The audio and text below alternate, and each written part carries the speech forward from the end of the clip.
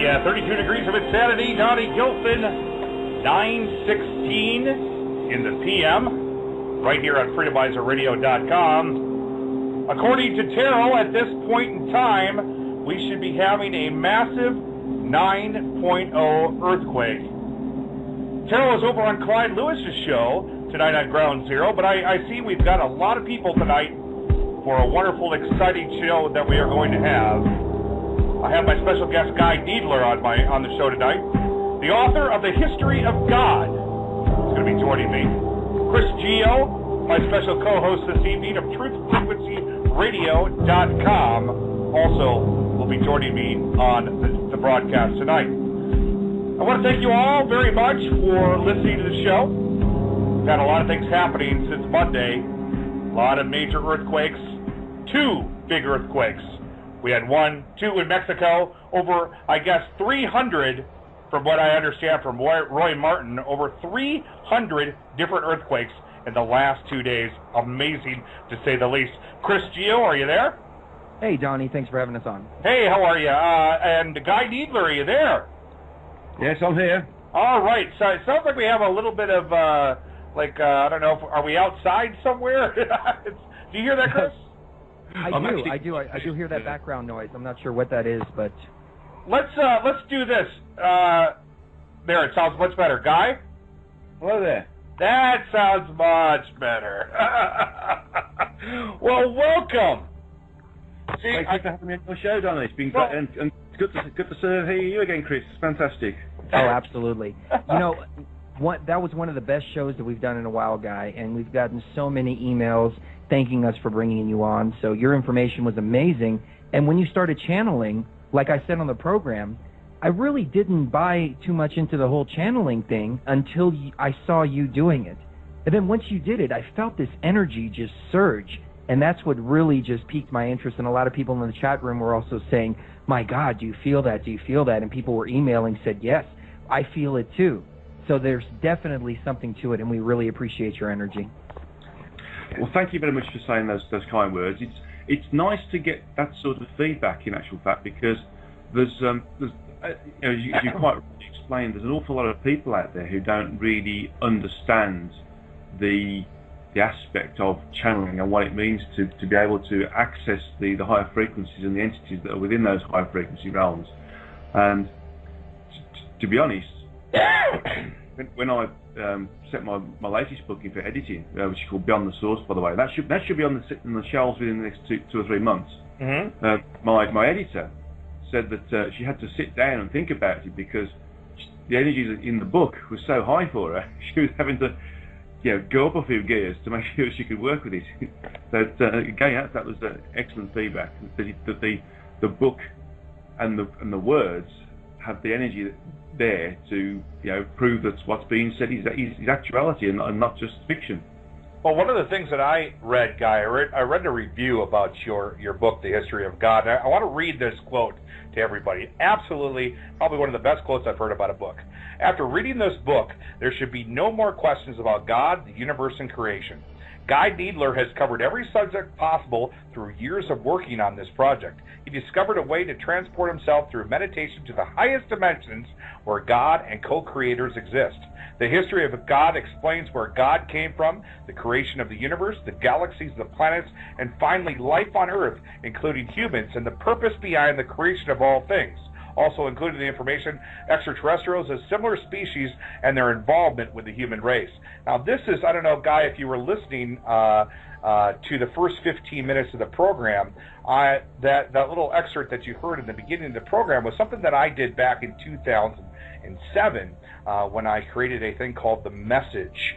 And uh, it was an internet broadcast that we that we did talking about trying to raise the, the, the vibrational frequency. And one of the main reasons why I wanted you to have have you here on Wednesday night tonight is because of this prediction that has hap- that that has uh, uh, been said about March 22nd about some sort of celestial body that's supposed to cause major earthquakes. I felt that maybe we could help shift that consciousness and bring the energy level of this world a little higher by uh, having you on the show. Uh, Well, thank you very, much for- very much for that. Uh, It, just as you were saying that, I was um, I was logging into the uh, what we call the event space Mm-hmm. uh, rather than time zone, because time doesn't exist as, as we all as we all know. And some of the listeners out there may well realise that things are moving a bit quickly. The day's going a bit faster than expected, or too fast. Yes. We're not getting enough time to do stuff. Um, and this is all part of what's going on. As we rise to the frequencies, we start to lose that concept of time. So things are starting to happen in terms of events now, rather than in terms of you know clock time, as, as, as it were, as a descriptor. And, and I log into that date. Um, the, the the events that are happening around, not specifically the date as such, but the events that are happening uh, are also actually to do with the shift. If you um, if you can imagine that, that, that as we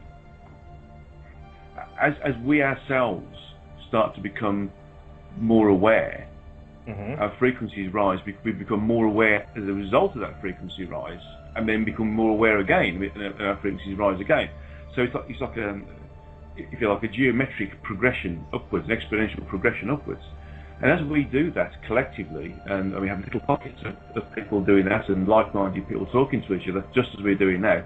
And by the way, with the the triangulation effect that's happening between myself here in the UK and you guys over there in the States, that drags a, that drags a, uh, along a whole corridor or, or area of individuals all doing the same thing, all focusing on the same event space all at the same time. Then we all help towards raising the bulk frequency of those individuals and, and the Earth. Um, and as a result of that, the Earth also rises to the frequencies, and it also starts to lose its physicality. And things like earthquakes, um, volcanoes, tsunamis, you know, major strange weather conditions are all the result of the Earth's shifting in frequency because we're shifting in frequency because the Earth won't shift in frequency unless we do because we are, if you like, the the major um, evolving component on, on the planet right now. Mm-hmm. What do you what do you what do you think about this uh, this whole prediction on uh, massive earthquakes? I mean, we had uh, just two major uh, earthquakes happen here in Mexico. Do you believe that it's uh, maybe God waking us up a little bit? Because uh, of course, no major injuries have been reported in regards to this. That's a that's a blessing as it is, right there. Um, let me let me let me slug into that question one moment. No, I don't think it's God um, punishing us because No. why would why would that creator punish punish its children? Or in fact, even more fundamentally, why would God punish itself? Because we are smaller aspects of that which is which, which created us, and therefore we, we are still part of that that uh, that energy that created us. No, it's not punishing us in any way, shape, Well, I guess. I, I guess I should re- reword that. What I was trying to say is, since there were no casualties, uh, that uh, maybe it was just to wake us up spiritually and mentally that hey, I'm here. Remember, I'm here. Just giving the world a little bit of a rattle to, uh, to bring that frequency up. You, can look at it in that way, yes, but it's also proof of the the fact that we are in fact evolving and rising to the frequencies because the Earth, as it is affected by our rising frequency, has to also rise to that frequency. And if you like, it should as a result of that, and we get earthquakes and we get uh, you know weather phenomena, we get volcanoes, because the, the physicality of the Earth is is being lost and it's becoming a higher frequency. And if you think about it in terms of, um, let's use simple physics to explain it.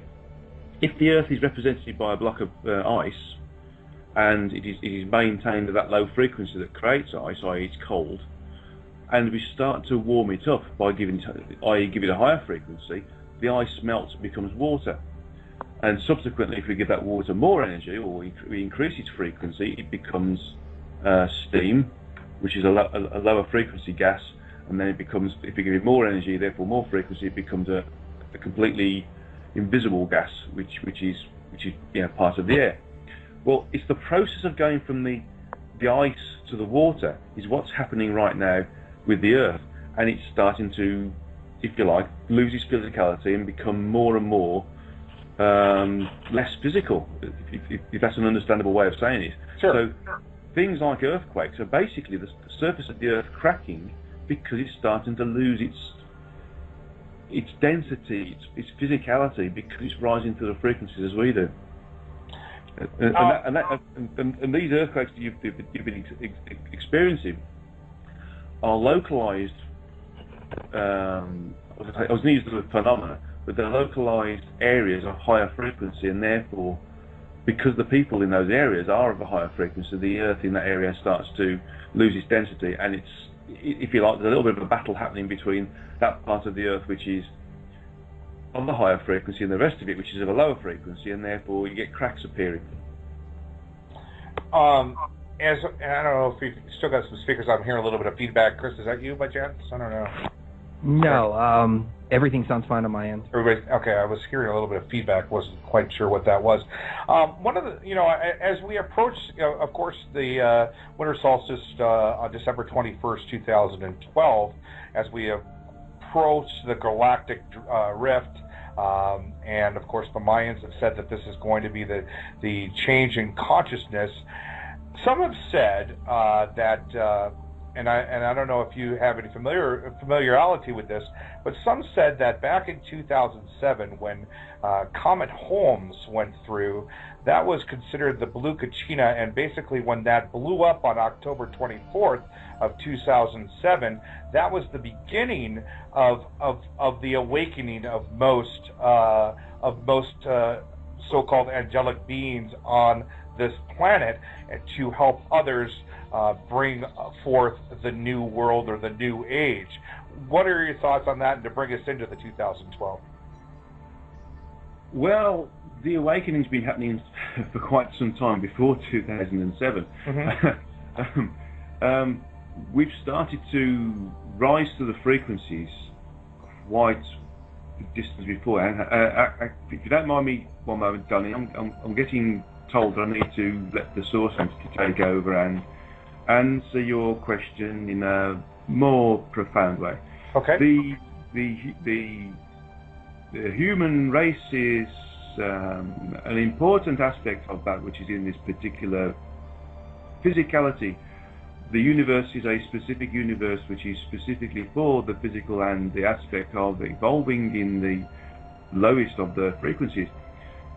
Within the earth, you have been given free will, and it is important to note that with the aspect of free will, there is a need for me as the creator of all that there is within the multiverse and specifically this universe to let you do what you do irrespective of the supposed good or bad points about that. Because you are all evolving as a result of it you all learn from the the good and the bad although it's important to note that there is no good and bad with the humanity incarnate on Earth right now, there is a great change occurring. For nearly 40 years, the frequencies have started to rise. Some dates in time, if you want to use that method of understanding the events that are happening, are sequential with the movements upwards in frequency. Frequency has been moving in a most gradual pace towards certain milestones, uh, if you want to use those words. Milestones that are where you should be or could be should certain events occur. So, from 40, 50 years ago, humanity started to change the, the way it thinks as a collective entity and has moved upwards. So, when we move from a medieval situation to where we are now, where people are starting to become awake, humanity starts to rise to the frequencies. Mm-hmm. This is a gradual occurrence that happens. The milestone that is at the end of the year you call 2012 is merely a milestone along the way. There can be no knife edge in terms of a leap upwards in frequency because that is not sustainable. It is just as easy to fall down as it is to jump upwards in this respect. So, from the aspect of evolution and from rising to the frequencies and becoming more aware, The last five years have been significant because there has been an acceleration. This is, as you would expect, geometric, and so the acceleration in five years would have been greater than in the last 50 years. So in some respects, those who make note of a date 2007 and can relate to certain phenomena that have been expected in the physicality, the locale physicality of the Earth, there may be some usefulness for mankind to anchor their consciousness on certain events as being noted or notory Mhm. in that delivery. Right. So if, if you move upwards to 2012, then mankind is much further up the frequencies than it was in 2007. And 2007, it is much further up the frequencies than it was in 1965, for example. But the increase in frequency is gradual and sustainable, and this is where mankind is winning right now. The movement upwards in the frequencies is um, a delight for me to see, for you are not moving in a sluggish manner now. You are starting to accelerate. The geometric progression is on the the rise. This the curve will be coming fairly soon. This may be outside of your some of your physical lifetimes, but know this: mankind is moving in a most logical and most sustainable way in terms of their frequency rise, and the frequencies will be much higher than they are now and many more individuals will become aware and start to access that which is the truth within the universe. So we're winning. Oof, sorry, I'll just come back there. Yes, yeah, uh, we are winning. Yes, we are winning. And and and to be honest, Donny, uh, having shows like this where you're broadcasting the information to the, the wider population is, is one of the ways that we're winning with. hmm You know, it's it, being able to speak about um,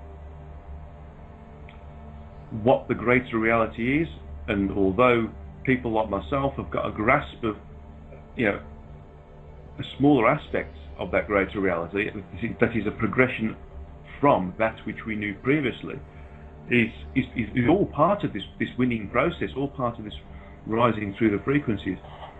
Um, Dolores Cannon talks about in the Earth, where she says the Earth will split into two, into two areas. Um, there's, all sorts of ways of explaining this, Mhm. but my understanding is that we is that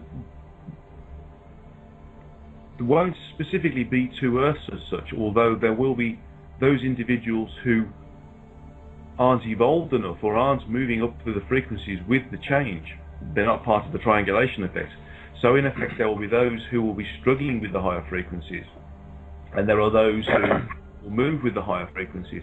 And so you may well start to get people who move up the frequencies and become less apparent to those who are down in the frequencies. Um, some of you may have noticed, um, and, and, and if, the, if, if the, if the listeners out there can um, can think about their own their own situations for a moment, and if you two guys can also think about it, how many times have you been in the in, in the street or in the shops, and you've been waiting to be served, and you've been there in front of the, the desk or the kiosk before other people, and other people have been served before you, and you've been a- apparently invisible. Have you, have you experienced that at all recently, or in the past year or so? Well, if you Yeah. have, yeah, Yeah. if you have, that's because you've been at a higher frequency than them, than them, and they've not noticed you. And it's only when you've got a little bit angry or annoyed at not being, Right. not being Okay. served that you've come down the frequencies again and you've been within their perception range. and it's uh, it happens a lot, to be honest. And it's a, when you explain this to people, that they start, oh, you have a, ah, a eureka moment. So that's what's happening. Mhm. Well, the thing to do is not to let, not to get angry about it, but to try to extend your higher frequency to the individual who's supposed to be serving you, raising them up to your level, and then they'll perceive you. Rather than coming down to them, bring them up to you. that makes logical sense. Uh, you know, and, and and I've noticed that a lot with me as late. Um, there'll be times when I'm just you know off and about, uh, and I'm just doing my deal. None of these negative, uh, what we call like trolls. Uh, I don't hear a peep from them. But then, of course, if something like you know irks me, like for instance, uh, recently my YouTube channel was uh, was closed down. I got a little peed off about it, and all of a sudden it was like it was like uh, a, cavalry of these lower frequency uh, type troll individuals just popping all over me. It was just it was it was insane, and I was like, where did they all come out? They came out of the woodwork, and it was because I knew that I lowered my frequency and uh, was not keeping on that higher elevation that I'm that I'm supposed to be uh, on. Um, hey, guy, I wanted to read something to you. Can I, can I read something to re- real quick? And I wanted to get your uh, your your uh, thoughts on this. Yeah, sure. All right. It goes since May 1998, the various frequencies and intensities of light from the photon belt are no longer released at intervals. They are now bombarding the Earth with much more intensity and consist- uh, constantly. We are expected to stay in the first vortex for approximately 18 to 24 months, or perhaps a little less. There's a lot of adjustment to be made in the vortex before we can move to the next one. All humanity, on one form or another, is feeling the effects of the deep cleansing and makes the necessary changes within themselves to be able to move with and transform by this great light. I am repeating it again. There is no turning back at this point. You are going to have to decide for yourself now if you want to ride the ascension wave with the planet and be transformed into the new species of humans that will emerge from this transformation. In doing so, you must choose whether or not you will gain immortality and ascend into the consciousness of the new earth on a fifth dimensional level, or you'll be crushed by the waves of changes by staying on the third dimension for another round of incarnation. The choice is entirely yours, and the opportunity is for all. However, those who resist the light and many changes it will bring will not be able to bring, make it through the 12 vortices physically.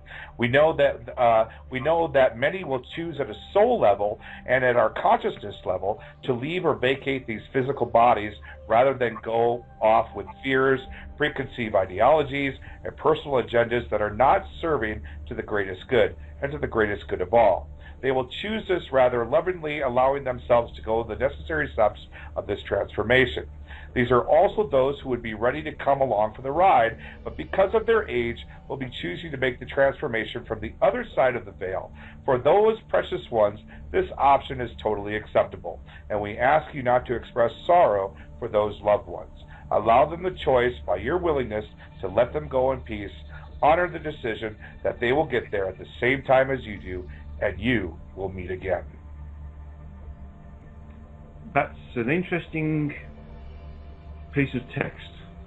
And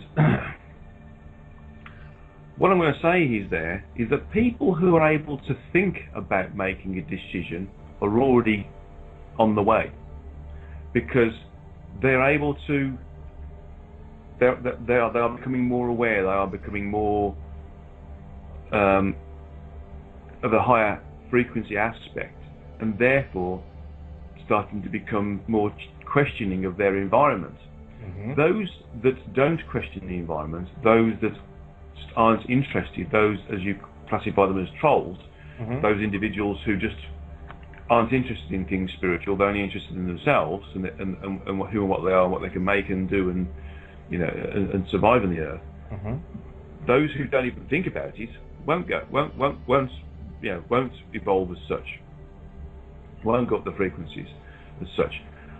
So, if, if, if you like, those who don't even think about it, there's not even a question there. they haven't even got a choice to make. They're going to stay where they are.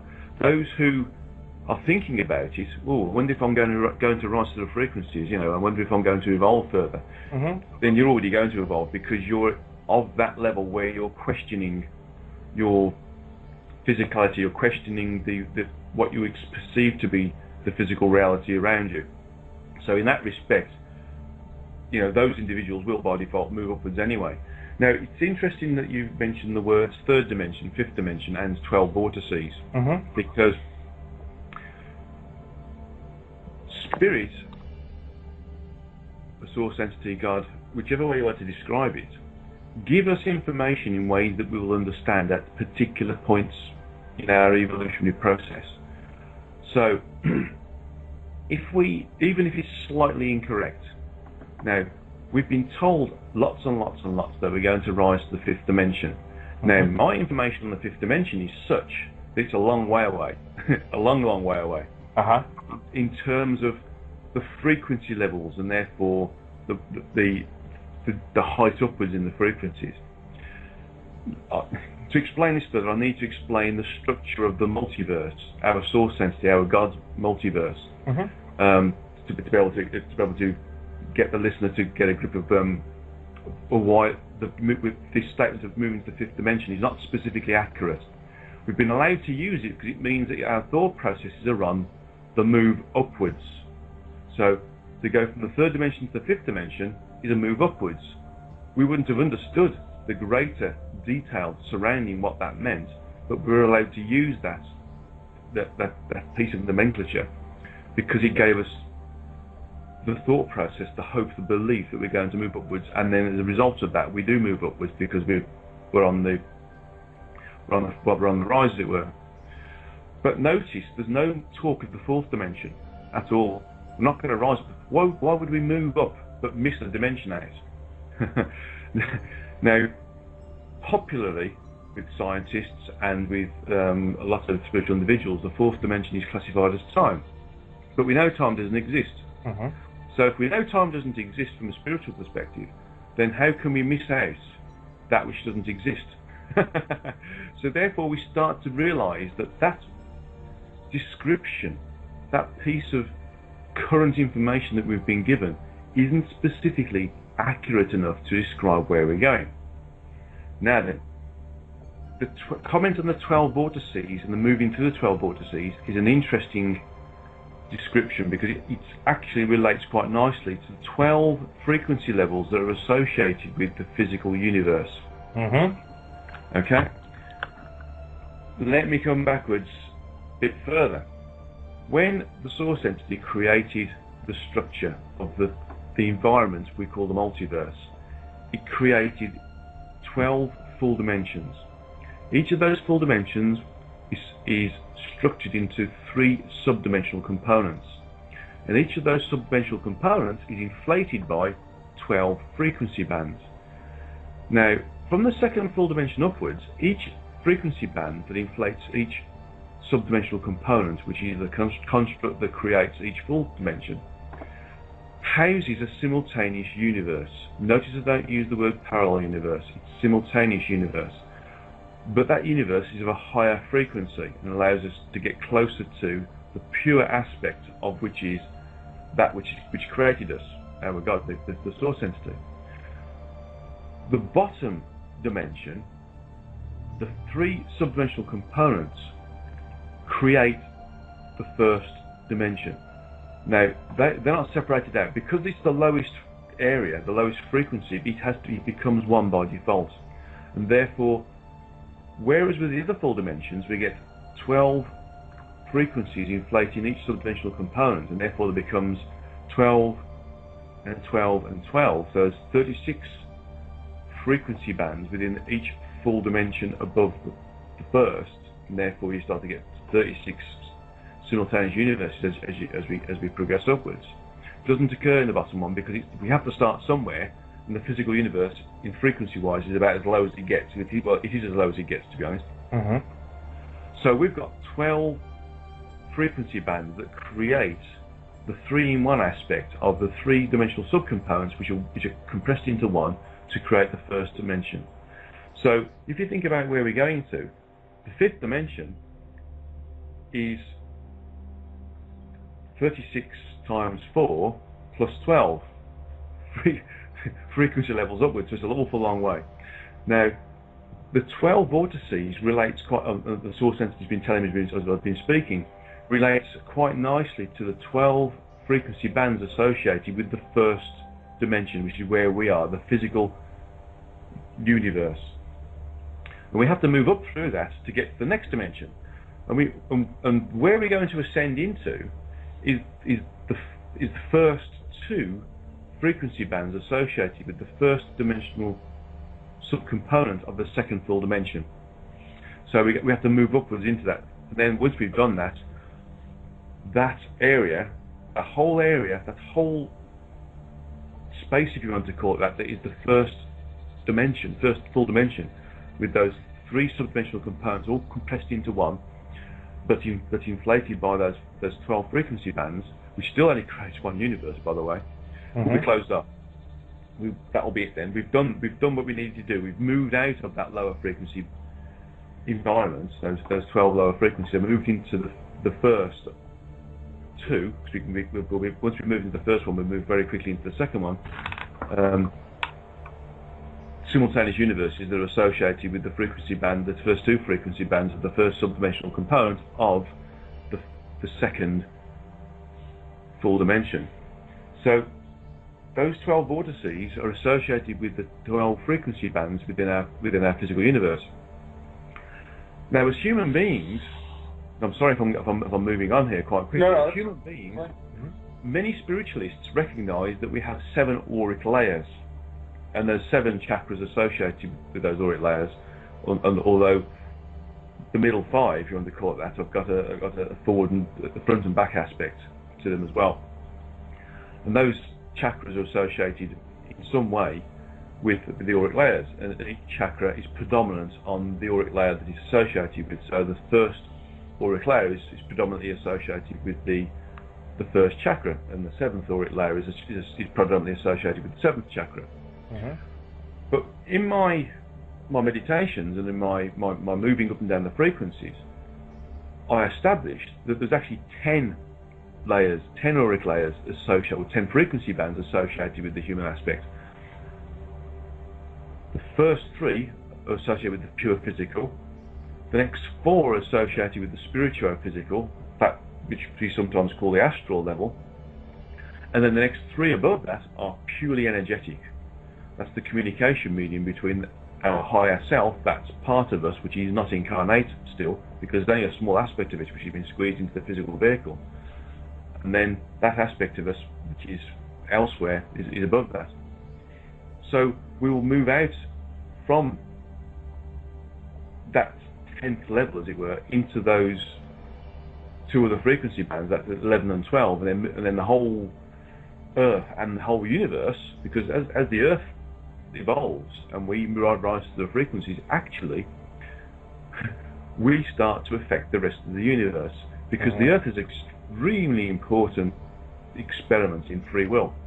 And if we if our if, if our if our if we take free will and we rise up and we become out of the lower frequencies that we've gotten ourselves into as a result of our free will, then the, the experiencing free will will have been a, a complete and utter success, and other physical or semi-physical uh, races of entities will also be allowed to have individualized free will rather than collective free will. And so therefore other universes will be allowed to experience this level of um, evolutionary process that we've experienced uh, and also experience that rapid evolutionary process as a result of that. Do you think it's So- Do you think it's going to be a um, you know as, as as you were talking here, I was I was I you know I was I was kind of looking at something. I it seems to me that the world itself as a whole is uh, in this lower vibrational frequency, and there is just you know I'd say maybe you know uh, guesstimation a million people, maybe out of the whole populace of the world, that seem to be on this higher vibrational level, or at least we feel we are, we think we are. Um, do you think it's going to be a, a small amount of people to rise through this frequency, or do you think that we will, as as people that are in this higher frequency, can pull the others with us? And and because I, I, don't, you know, I, I, I it, it kind of saddens me that that people just don't want to wake up. Some people. Um, well, firstly, talking about those who don't wake up, they will simply stop their uh, incarnation process on this particular planet, this particular area of physicality. Um, so when they finish their incarnation, they will not continue to incarnate. They'll it's on this planet as such, or on this frequency the planet gets to. Right. Um, yes, it is sad, and it, and it's and it's, a, it's it's you know for the individual who is of a higher frequency and, and is evolving, then it is a great sorrow. But we have to love them and leave them because that's where they are in their evolutionary process. But also note that there's an awful lot of individuals on the Earth right now that aren't specifically of a higher evolutionary progress or even or even a, or even a higher frequency. They're here to fill the gaps in. Because we're moving onwards and upwards, we need to have um, a critical mass of individuals who are of a higher frequency to allow the whole the whole Earth to be affected by a triangulation process, where those who are of a higher frequency affect those in an area in between them of a lower frequency, but are nevertheless susceptible or ripe to being increased in frequency, to actually increase in frequency and therefore rise and evolve uh, with us. So when we get this critical mass of individuals that, are, that create the triangulation effect, those who are meant to go up, mm-hmm. those who are on an upwards evolutionary process will move up. But there still needs to be a, if you like, a, a population um, on the Earth right. that allows us to to, to achieve this this this, this massive individuals. Because otherwise, uh, it won't work. Um, now, a way of explaining this is that we can blow a balloon up only to the point where the, the elastic limit is reached, and then when the elastic limit is reached, and we try and blow increase the pressure pressure inside the balloon, the balloon breaks. But if that if we if, if, if the objective is to blow the balloon up to a state where it is many, many, many times bigger than it is and take it past its elastic limit, then we need to fill up the gaps of where the breaks may occur. So the way we do that is to if we were, if we were using another example of using the plaster on our walls, where the plaster in our, on our walls cracks, for instance, in our homes, we don't use plaster, we use Polyfilla or something else to bridge the gap. Right. It's not the same material, but it does the job. So in what we're finding out now, what we're starting to understand now, is there's a lot of incarnate individuals on the earth that aren't specifically of the humankind energy. Right. They're, they're of a lower frequency than humankind, as it were. Well, energetic let's, humankind. Let's pick up on that. We're, we're at the top of the hour here. Uh, I need to take a quick break here, but we'll come back in about five minutes. Uh, guys, 32 Degrees of Insanity with my special guest, Guy Needler, along with uh, my very quiet co host, Chris Geo. Chris, you still there? Chris is not. he's, probably out uh, helping with Cherie, uh, but we'll uh, bring him back on in a second. Uh, but we'll be back here in a few moments here. If you guys, oh hey Donnie. Oh, there you are. I'm sorry, I had my Skype muted. You know, when Guy speaks, you just sit back and just listen. Oh, I know. That's all I did. I was just sitting there. I'm like, wow. uh, so, so we will be back here in about five minutes, guys, uh, right here at 32 Degrees of Insanity. If you're listening to us on Blog Talk Radio, please come on over to freedomizerradio.com. Uh, you can join us at the Chatango website uh, as well and chat with us right here on freedomizerradio.com. We'll be back in a few minutes. You know the Constitution like the back of your hand. You've read books, listened to podcasts, attended lectures, surfed websites, and watched videos. You've made liberty your life's goal, but something seems to be missing. Stickers from LibertyStickers.com. Exercise your freedom of speech with the world's most dangerous bumper stickers. That's LibertyStickers.com. But wait. There's more. You can buy Liberty stickers wholesale. Get them for 99 cents each when you put 100 or more in your shopping cart in any combination. Sell them or give them away. They're great for gun shows, flea markets, fairs, outreach, and more. Earn extra money, promote freedom, and spread the word. Need custom stickers, labels, or decals for your organization or business? Liberty Stickers makes them. Go to libertystickers.com to order or call 877-873-9626. libertystickers.com, the world's most dangerous stickers. What's up with these sorry politicians? Lots of bark. When it's showtime, whimpering like little shih tzus. You want big cuts. Ron Paul's been screaming it for years. Budget crisis? No problem. Cut a trillion bucks year one. That's trillion with a T. Department of Education? Gone. Interior, Energy, HUD, Commerce? Gone. Later, bureaucrats. That's how Ron Paul. Want to drain the swamp? Ron Paul. Do it. I'm Ron Paul, and I approve this message. This is Mercy. If you're listening to this message, warriors, you are the resistance. Warriors, you are not alone. There are pockets of resistance all around the planet. We are at the brink. Read about it in The Sovereign, newspaper of the resistance. Available now at newsstands everywhere. The Sovereign is a monthly 24 page tabloid newspaper featuring incendiary content about life during wartime in the age of Obama. Warriors, keep to date every month. Remember to read The Sovereign, newspaper of the resistance. Available at newsstands everywhere. This alert is for all you boppers out there in the big city, all you street people with an ear for the action. This is Mercy. If you're listening to this message, warriors, you are the resistance. This is Mercy. Mine will be the last voice you will ever hear. Don't be alarmed. Greetings, this is Blake the Eccentric, and I want to invite you to check out my new show on Freedomizer Radio, The Eccentric Perspective. It's sort of a red pill, blue pill, going down the rabbit hole kind of show, featuring outside the box politics, philosophy, and gonzo journalism. But be warned, with knowledge comes responsibility, and you might not see the world the same way again as I will attempt to open your mind, speak to your common sense, and challenge your critical thinking skills.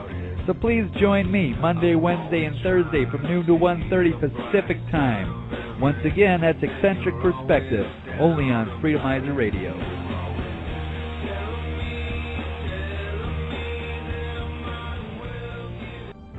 The Purple Shift is Christ Consciousness Awakening. The Purple Shift is news about Mother Earth, cosmic sky, and you open up and expand themselves.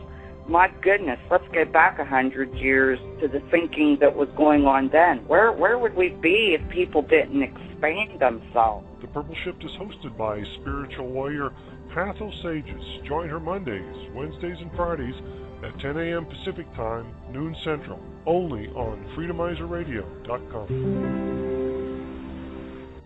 Ay, ay, ay, la chupacabra! Okay. Are you tired of losing your herd of goats to the chupacabra? Are you worried about how you're going to eat because your goats were viciously ravaged? Call SNL Chupacabra Insurance today. SNL provides fast, speedy claims in the event of your goat farm being destroyed. Low rates, fast service, and professional attitude is what makes SNL your choice for Chupacabra Insurance. Call 855 Chupa No today. 855 Chupa No for our free rate quote.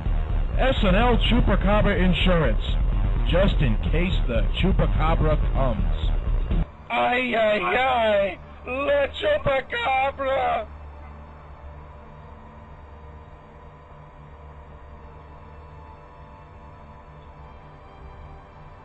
Welcome back, ladies and gentlemen, to 32 Degrees of Insanity. We're speaking with Guy Needler. Donnie Gilson, of course, is in the background. And, Guy, uh, you know, I completely agree with you when it comes to the idea that some of us are just here just to be the beacons of the light, as opposed to trying to save everybody or be in a collective consciousness or collective community. I've likened it to and I know this sounds kind of cheesy. Cherie's always told me that this is kind of cheesy, but I've likened it to a water filter. And we're basically water, is what we are. And as we pass through this filter, which is planet Earth, we have to do so individually. We can't all go through at once because if we do, we're just going to contaminate each other. But once we get to the other side, then we can join the pure collective consciousness and I had myself on mute for some odd Vicki uh, said something to me about uh, uh, looks like we're having some tremors here in Nevada, uh, and uh, some uh, tremors that are happening right in the Truckee area of California. Uh, so I didn't even realize that I. So sorry about that. I apologize. Thank you for filling in there, uh, Chris, uh, as we came in off a commercial there. Um, uh, you were you were talking about uh, what, what were you talking about there, Chris? I, I missed that. Well, we were talking about basically how some of us are here to be the beacons of light. And yeah. all we can really do, in my opinion, is just prepare the lifeboats. I mean, we can't save everybody. Not everybody is meant to be saved. Not everybody is meant to ascend into a higher dimension or a higher understanding. Some people are here just simply so they can experience the failure, the materialism, and the negative aspects of what this world has to offer. And what we can do is just shine that light for others to see the light and find a beacon of freedom and hope and um, higher consciousness, and just simply lead by example by living our day-to-day lives in complete infinite love. Well, that's that's interesting that you state that because I was I was just reflecting uh, back on uh, this. I uh, I, I channeled a thing called the Message back in 2002, and this is uh, the, the things that I'm reading to you are a part of that uh, channeling exercise that I did through automatic writing back in 2002. And um, I, I wanted to read this other aspect of it here to you. It's just a couple quick paragraphs here. And I wanted to get your take on it because I think it matches up exactly to what Chris said. Many of you are already feeling and noticing in your physical and emotional bodies the effects that are taking place at a cellular and genetic level. Many of you are experiencing physical symptoms you have had before, such as headaches, heart pains, palpitations, chronic fatigue, dizziness, nausea, changing sleep patterns, ringing in your ears, blurry of the vision, and much more. You're also noticing changes in your emotional stat, state. Your bodies are evolving and cleansing themselves. All outmoded, worn out, negative emotions and ways of thinking and perceiving things are coming to the surface to be examined, purified, and transformed. Many of you are emotionally confused and many of you feel you are sick. I tell you this, this is only temporary. Just hang in there and remain in the frequency of love for yourself and others. It too will pass. Now is the time for you to let go of all your fears and negative patterns because you simply cannot take them with you. Where we are going, there will be only love. There will be no room for fears or negativity of any kind. What you do at the entrance of the porthole of the fifth dimension is if you still have your baggage of fears and negativity with you, they will not be allowed. The vibrations of fear and other negative patterns simply cannot be admitted into the fifth dimension. Will you choose to stay behind on the third dimensional level for another round of incarnations just because you hold on to them?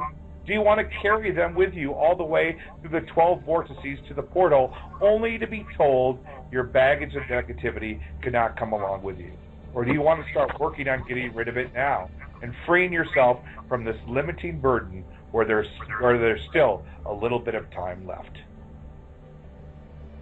You know, I completely agree with that, and I absolutely, positively do not want to return to this plane of existence. This is my last ride. I came here for some reason, obviously, but uh, I don't have any intention of coming back at all.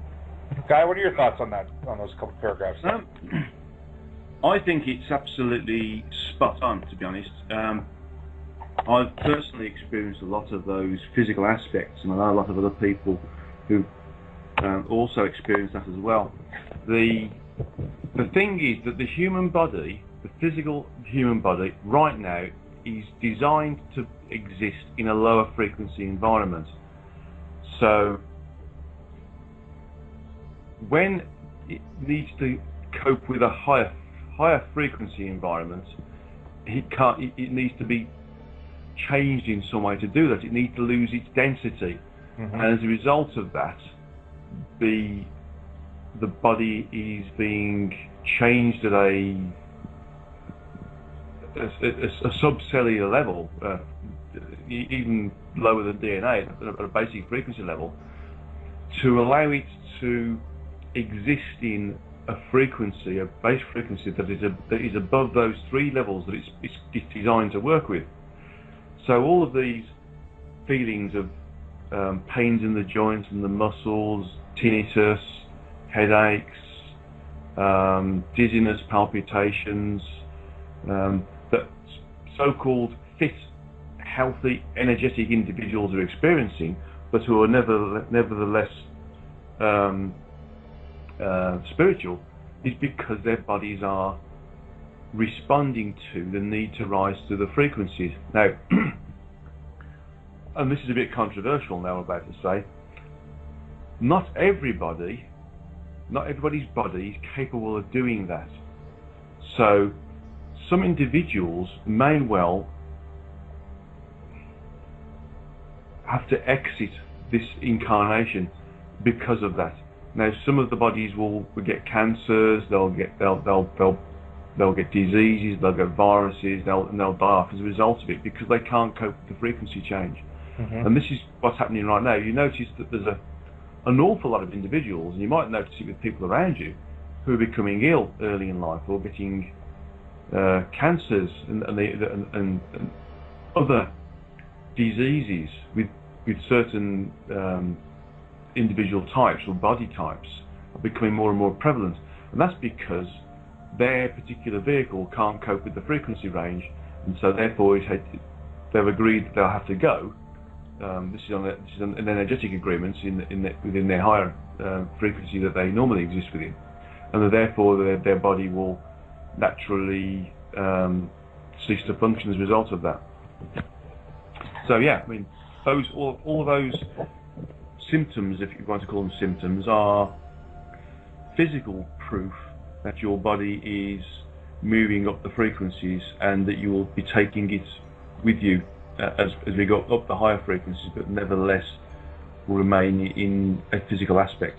Well, the one thing that I've always said, you know, is you know, a, lot of people are, you know, I, I I've been kind of tossing back to to our show tonight where we have you on, and of course we had a, a gentleman named uh, Terrell Three, uh, who is on uh, one of my colleagues, Clyde Lewis's show tonight on Ground Zero, and one of the reasons why I wanted you on so specifically today was that we could raise this this frequency to avoid uh, having any type of cataclysm and that it, it keep people in a positive thinking of not thinking about an, an earthquake or some sort of cataclysm to happen on our planet because that would lower the vibrational levels of this planet. But what I found very odd to see is as we do, and of course, nothing has happened as of yet because the prediction uh, has passed uh, the time. So I think we're doing a, a great job. But when I see, you know, other people still, um, still uh, talking about lower vibrational things, it, it, it, it, it, it, you know, like they're talking about, you know, well, you know, we, you know, we should have an earthquake, or we have to, you know, because you know these predictions need to come true, blah blah blah.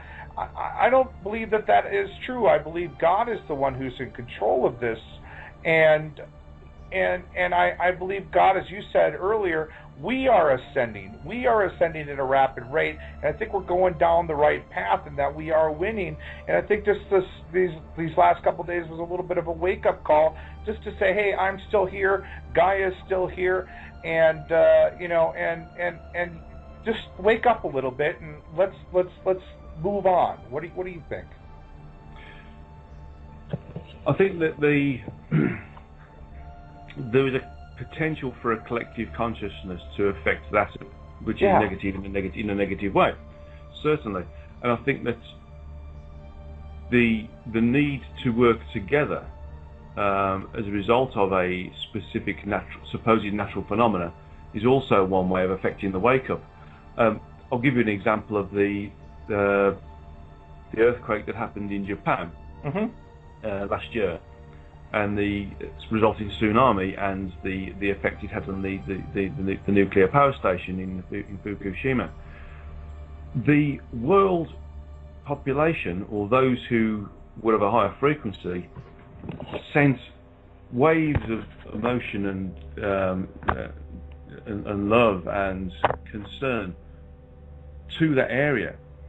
And as a result of that, Japan recovered really quite quickly. Yeah, it did. Yeah, and, and, and this is what's going on. Sometimes we need to have something to focus on to make us achieve those higher thought processes that are associated with higher frequency higher frequencies.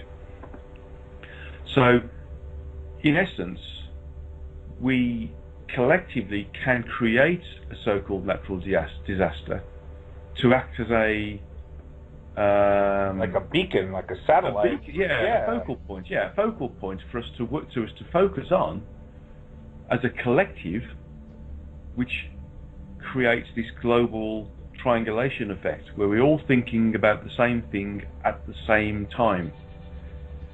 So, as a result of that, if we're all thinking about the same thing at the same time, and it's all high frequency thinking, then we affect change for the good, uh, change for a higher frequency response much faster than we would do if we didn't do anything about it, or, or we were spasmodic or irregular or, or random in our in our thoughts within in, in, that, in that specific direction.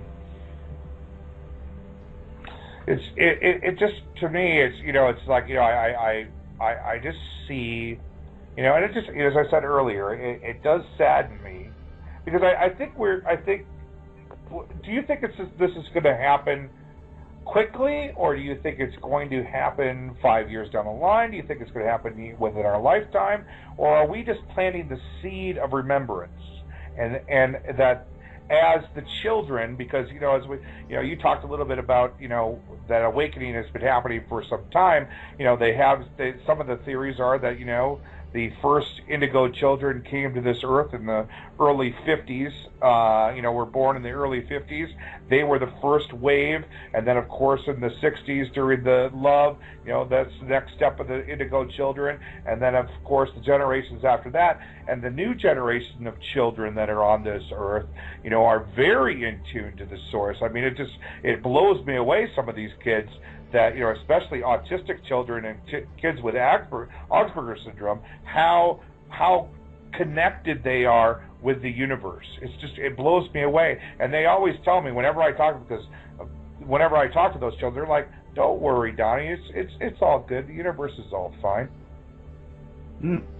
Yeah, I mean that that's right. We will move individually, but where we can affect those who are also susceptible for to being awakened, will, they will move with us as well as, as a result of being associated with us. So, all of these children um, who are, some of them are higher, uh, higher, higher evolved entities from, not from the same energy as, the, as, as humankind, are here to help the collective that is um, incarnate currently on Earth, that we call mankind, mm-hmm. or humankind, to evolve to evolve in a much, much faster pace. Now, it's interesting you talk about the different children, the crystal children, rainbow children, and the indigo children, because they have been planted here.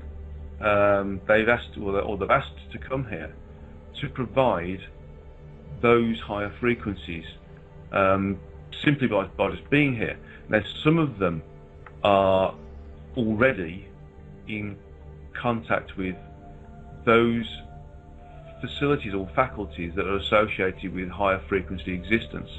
So we talk about the autistic children who simply just know stuff. Yeah. And it's accurate. You know, the, the, the example of Rain Man where the, the, the, box of matches gets dropped to the ground and the ball of matches go across the floor and he, he, he says, oh, there's, I don't know what the exact figure was, but he said, oh, there's 213 there. And there's 213 there. You know, it's because you, they're, they're able to access that part of us which is still in the energetic and work with that instantaneous knowing or knowledge, that cosmic knowledge yeah, that's yeah. part of us. And these children are, uh, uh, these the physical vehicles that are that are these children are containing energetic individuals who are of a higher frequency, who are of a, a, a, a higher evolutionary com- content, and and they are here to, you know, if you like, kickstart the the the awakening process in the rest of us, be, simply by just being here. Um, the, the, the, the, one of the problems with the latest uh, set of children is though that some of them are becoming um, uh, sort of irrational. They have um, temper problems. They have Mm-hmm. uh, mood swings, and that's because they're not used to these lower frequencies. Simply that, and they find it abhorrent. On top of that, It's not natural for them. yeah, it's not natural. And on top of that, they're using communication mediums that nobody else is using. Well, specifically those that they, they find around them, until they get in contact with the children of their own type, where they start to communicate on multiple levels and multiple modes um, concurrently. And then they, then they start to calm down and, and, and become reasonable individuals again. If you imagine um, if you imagine that you're trying to talk to somebody uh, who is deaf Mm-hmm. and is blind, Mhm. so they can't hear you or see your lips moving, and you can't make yourself known to them, you you would definitely get frustrated. But if you start if you when you start to realise that if you use touch, the touch sign language that, that some of these individuals have to use, that's the only way you've got to communicate with this this other individual. Then you start to get a response back. And you say, okay, that, that, that works. But in reality, they're missing out on a, so much communication because most individuals around them are not on that same frequency and therefore aren't having aren't able to access those levels of communication. That they just get frustrated with it all. That and you know nobody's listening to me, nobody understands me, nobody nobody wants me to talk to them, nobody's you know nobody nobody's with me. You know all these sort of words come out from them because quite frankly they're talking to the deaf, dumb and blind. and what's more. they're in the equivalent of a of, of, of, being underwater, where they're in a lower frequency and they're used to a high frequency. They're used to being in the air. They're used to being in a high frequency. Mm-hmm. Well, one thing I one thing I I, I have a very dear friend. Uh, his son uh, is autistic, uh, and uh, whenever I speak to him, and it's it's him and I have a very special bond, and I, I've had special bonds with a lot of autistic children. Uh, they, you know, they won't communicate with their father, or they, you know, they they they have this disconnect. But whenever I talk to these children, it's like a it's I, I have such a, a close connection to them where they where the you know you'll see them hyperactive and way out of out of base but when i come over to them and start talking to them they become rational and they actually sound like almost like a 21 year old or 22 year old individual mm-hmm. they have such high intelligence um, and i you know and it, it it it humbles me that i'm able to be in that frequency with them it, it really it really does humble me mm. Can I jump in for a second? Yeah, yeah, go ahead. Go ahead. I want to I want to switch the topic just briefly because we've been experiencing a pretty weird pheno- phenomenon, and I was wondering if maybe Guy could shed some light on this. Sure. Um, for the past couple of days, we've noticed a lot of. I hate to use the word demonic, but for lack of a better term, demonic energies which have surfaced. We recently did a show with Christopher Everard where we discussed exorcisms and demonic possession in great detail during the broadcast, we kept hearing all of this weird static. Now, I use top of the end gear over here. There's absolutely no reason why I should have any static in my chain. But as soon as we got on this topic, we started hearing this weird noise. It's on the archive, this weird static, and it was coming in almost as a growling. And we've noticed this happening ever since. Like an EVP of some sort, right? Yes, exactly. And Cherie was making the phone call earlier, and she heard this demonic growling voice of. It seemed like frustration, and from my meditation, what I'm getting out of the situation is that this dark force is frustrated because it can't touch us. I, I, I know it sounds weird, but that's what I'm. That's the energies that I'm picking up. However, it's still making itself known to us. Is there mm-hmm. any advice that you can give us, or anybody who's dealing with similar situations, to expel these kind of dark entities, or is it a, a situation where these dark entities don't even exist, and it's just something that we've conjured in our own minds because of the content of the show? Um, that's a pretty big question, isn't it? it's a good question. Yeah, good really. question. Um, and I had a a good response for that. It's all to do with the karma karmic forces. Now let me explain. Karma is not specifically about doing good or bad. It's about attraction, attraction to the sensation of being in the physical. And that includes things like wanting to have nice watches, wanting to have nice cars, nice houses, nice nice girlfriends, etc. It's about being linked into the physical and thinking that the physical is all that there is. Now, this creates an energy in its own right. So, all of those individuals who are stuck in the physical, they are totally and utterly believing or in full understanding that the physical is all there is. They're not interested in anything else. All they all they're interested in is their, you know, whether they can go out and have a big a, a big fat meal, for instance, and get you know get loads of money from the work they're doing, or who they can uh, turn over to get more money and, and, and, where they can wear their um, their gold bracelets or their Armani suits. Yeah. These individuals create, if you like, um, a negative triangulation, if you want to call it negative triangulation effect, where those around them of like mind are also stick together and group together, and that creates local areas of low frequency. So what what what's actually happening is, and I have this fantastic image in my mind while you're all saying this, is that oil and water doesn't mix. And if you consider that the oil is the lower frequency aspect of what's happening on the earth, and the water is where we are, then the the oil rises to the surface, it pops out. It can't stay there. So because it's used to being part of the the whole that is the water, it doesn't like being on the surface. So it's it's it's like resisting this change of being moved away from the the rest of the the, the, the collective, if you want to call that, the, the the whole that is incarnates mankind and all of the other entities which are incarnate right now to help with the ascension and, and, and the earth. And so therefore there's a um, a discomfort that's felt by these individuals and with the energies associated with and linking these individuals together. So when we do a radio station, uh, the source is coming through now.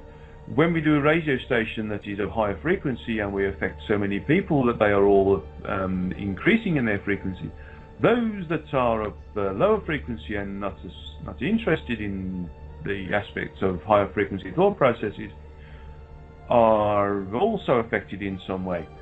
The higher frequencies, as we talked about with the the children, the rainbow, the indigo, and the crystal children, are in an inverse condition in this instance.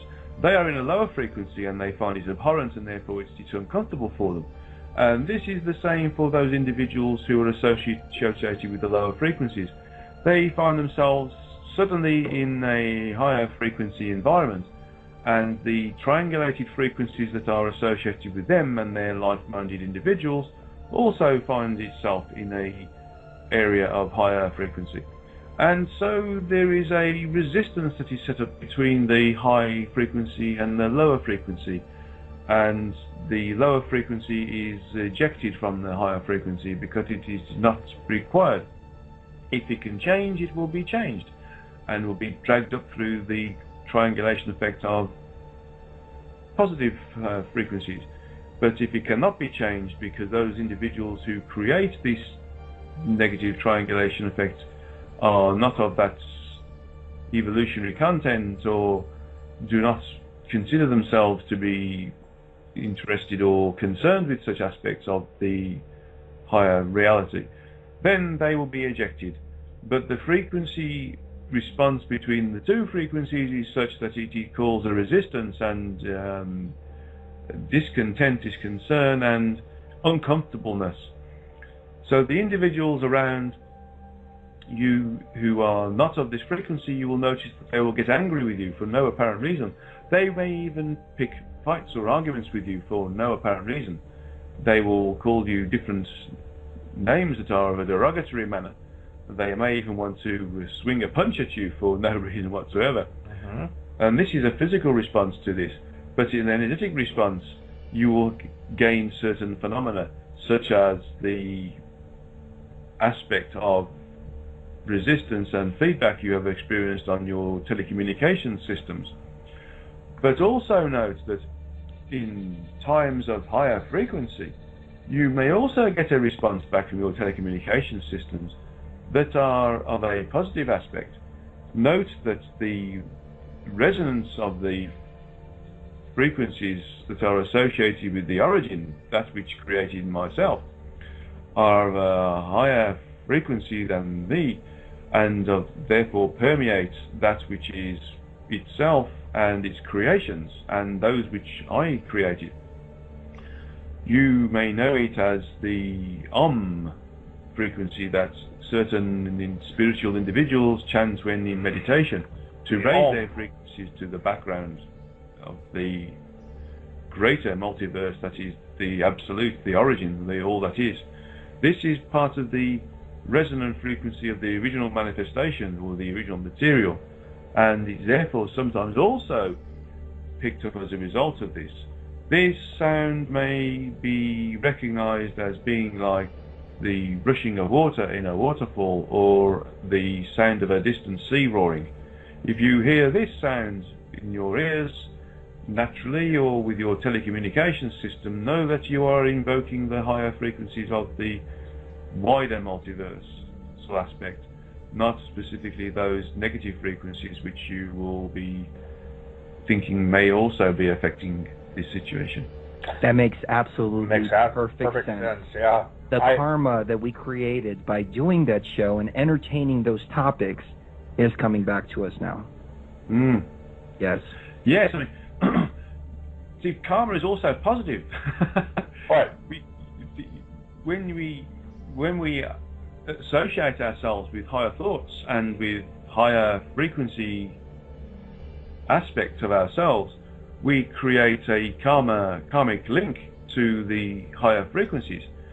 The the word karma is something which is greatly misunderstood and is associated only with that of the negative, that which is of the physical. But karma is also something which is associated with the the progress, the evolutionary progression, the rising through the frequencies of that which is evolving. So the individual entity who is evolving will also have karma. That karma being the link and the desire to be of a higher frequency. Whereas with the human aspect, we think of karma as being doing bad deeds and having to repay those bad deeds. But in actuality, the negative karma is to do with the association with the physical. The trick of being incarnate is to be in the physical and work with the physical, but not be of the physical. The yogis of past centuries stated that they needed to be divorced from the physical, to renounce the physical in some way, shape, or form, and others of them would do strange physical yogic tasks to show that they are renounced from the physical whilst being in the physical. But the true master can exist within the physical, work with the physical, with all aspects of the physical around them, but still be within the higher energetic realms and therefore not attract karma. True masters are able to do this, and it is a wonder to behold when you see them doing it. They also attract this, as I said, just this positive karma, this karma where everything that they do is good, everything that they associate it with is with the higher frequency aspect, and therefore they get pulled into the higher frequencies on a regular basis, if not on a continual basis.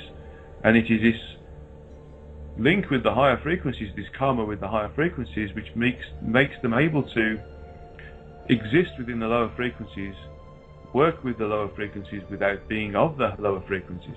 I will give you an example of that which is of the physical, which will give you uh, an example of a higher frequency aspect which exists in lower frequencies. When your submariners go in a submarine, they are creating a higher, higher frequency environment that are there to allow them to exist within the lower frequency, that of water. So therefore they move in the lower frequencies and work with the lower frequencies whilst maintaining a higher frequency aspect of themselves, i.e. being in the air. And the construct of the submarine is that which allows them to do that. The advanced individual can create a field of energy around themselves that allows them to do exactly the same as the submarine, but within the physical environment of the air. But the energetic content is such that they are of a higher frequency and recognize that they, they are existing within a lower frequency aspect from an incarnate perspective, but are not affected by that of the physical. They simply move with it, within and without it, and do not get attracted to it in any way, shape, or form. You know, one one of the things that you know last night, and this kind of goes along with what Chris was talking about. Uh, I had not astral projected in a long time, and I found myself last evening uh, while in my dream state um, being presented with uh, my good friend Brady Ackland, who uh, had passed away uh, back in 1995, and it was like he was alive and well, and uh, I was. We were playing games. We were sitting around talking. It was like it was it, it was so surreal for me. And then all of a sudden, during the during during this dream, I saw like this black entity come. It was almost like a cloud, like a black, like a shadow, come over the whole dream, and it it, it almost engulfed it. And I woke up, it just sweats. It was it was terrifying. Um, wow. Yes. Now, it, it, it, your description there is quite typical of people who are contacting um, spiritual entities who they've, they've had a physical relationship with, Mm-hmm. and you've had to meet that entity on a frequency that is above the physical. Popularly, they call the astral levels, but it's the frequencies above uh, level three, so it's level four, five, six, and seven, um, and, and and and upwards. But in your instance, you were in the joy that you were experiencing with that individual that you were so pleased to be with. He had come down the frequencies to meet you and become in the semi-physical momentarily, Mm-hmm. uh, expending great energy to do so. And you had risen up through the frequencies with your ability to move your energetic out of the physical to meet him. This had caused a rift in the basic frequency that is surrounding you in your area of location, your physical area of location, where there is a specific negative aspect. This negative aspect was not in resonance with the frequencies that were created with your joy in meeting your friend. And as a result, it tried to quell the higher frequencies by surrounding it in its negativity. Well, here's the here's here's the weird thing. and I, I just want to interject this real quick because I think it's a very important part of it. Brady committed suicide, and I was the one who found him. And so that was that was. Do you do you think he was in that same realm as as this entity? The the blackness was not an entity as such, but was more a lower frequency aspect that Okay. uh, associated with the area of your locale. He's committing suicide is um, not an optimal way to leave the human body. Right. In fact, it is a it is a um, if you want to call it a sin, it's a sin. Okay. Because the human body is a gift that we're given to Right. allow us to move forward in our evolutionary pro- process by experiencing the physical with a physical vehicle, and they are in short supply, significantly short supply. There are many, many queues of people of of entities That was queuing up to become incarnate and experience the rapid evolutionary opportunity that, that is that is presented to us whilst being in the physical. Mhm. The the aspect of negativity that, that was in your area wanted to quell this, but also it, it fed upon the negativity that surrounds um, the suicide opportunity that people take sometimes. Because suicide is um, considered to be negative, there is a draw to there is a that was the door that this negative energy needed to, come into to, to stop this local rise in higher frequency. So your friend who was causing you great joy and therefore causing you to rise raise the local area of your your your your where you were your your existence in your your, in your, your home in your bed Mhm. you you raised the local area of uh, of frequency around you and around your your locale your your neighborhood to a point where the the negative frequencies that are in that area felt uncomfortable with it. Now your friend's suicide is a negative aspect. Right. And although well lower frequency aspect, a better way of saying it, and although you were in deep joy by experiencing your the, the, the energetic communication with your friend, this negative aspect that was there was the the chink in the armor that the lower frequencies needed to reduce the base frequency back down to this its its its previous condition. So, if if you like, it, it was a a key in the door that that was uh, was, was there to allow the negative frequencies to open that door and bring the base frequency back down to something like that which it could tolerate. Do, Does that you, make sense? Yeah, oh yeah, yeah, no, completely. Yeah. Um, because I mean, I was, I was literally when I woke up, I was, I, because I, I, could, it was like a blissful. I mean, it was, I had not felt a dream like that, and I could smell it, I could feel it, I could, I could, you know, feel the joy, and then when this, I mean, I could literally vividly see this black. It's like it, almost like charcoal, almost peeling down, uh, and mud, almost muddy, and it just was just eerie. And all of a sudden, I wake up and I'm in sweats and I'm a bit terrified, and I but also I could remember the joyfulness as well. Yes. And this, this, that's a, that's, that's the correct, that's a good feeling about how you recognise the, the lower frequency because it feels like it's, it's sticky, it's muddy, it's thick, it's horrible, it's like tar. You know, those are the sorts of feelings that we get when we're accessing frequencies that are lower than ourselves, or those frequencies that, that are lower than ourselves are trying to lower our base frequency so that the overall base frequency is back down to a tolerable condition. Mm-hmm.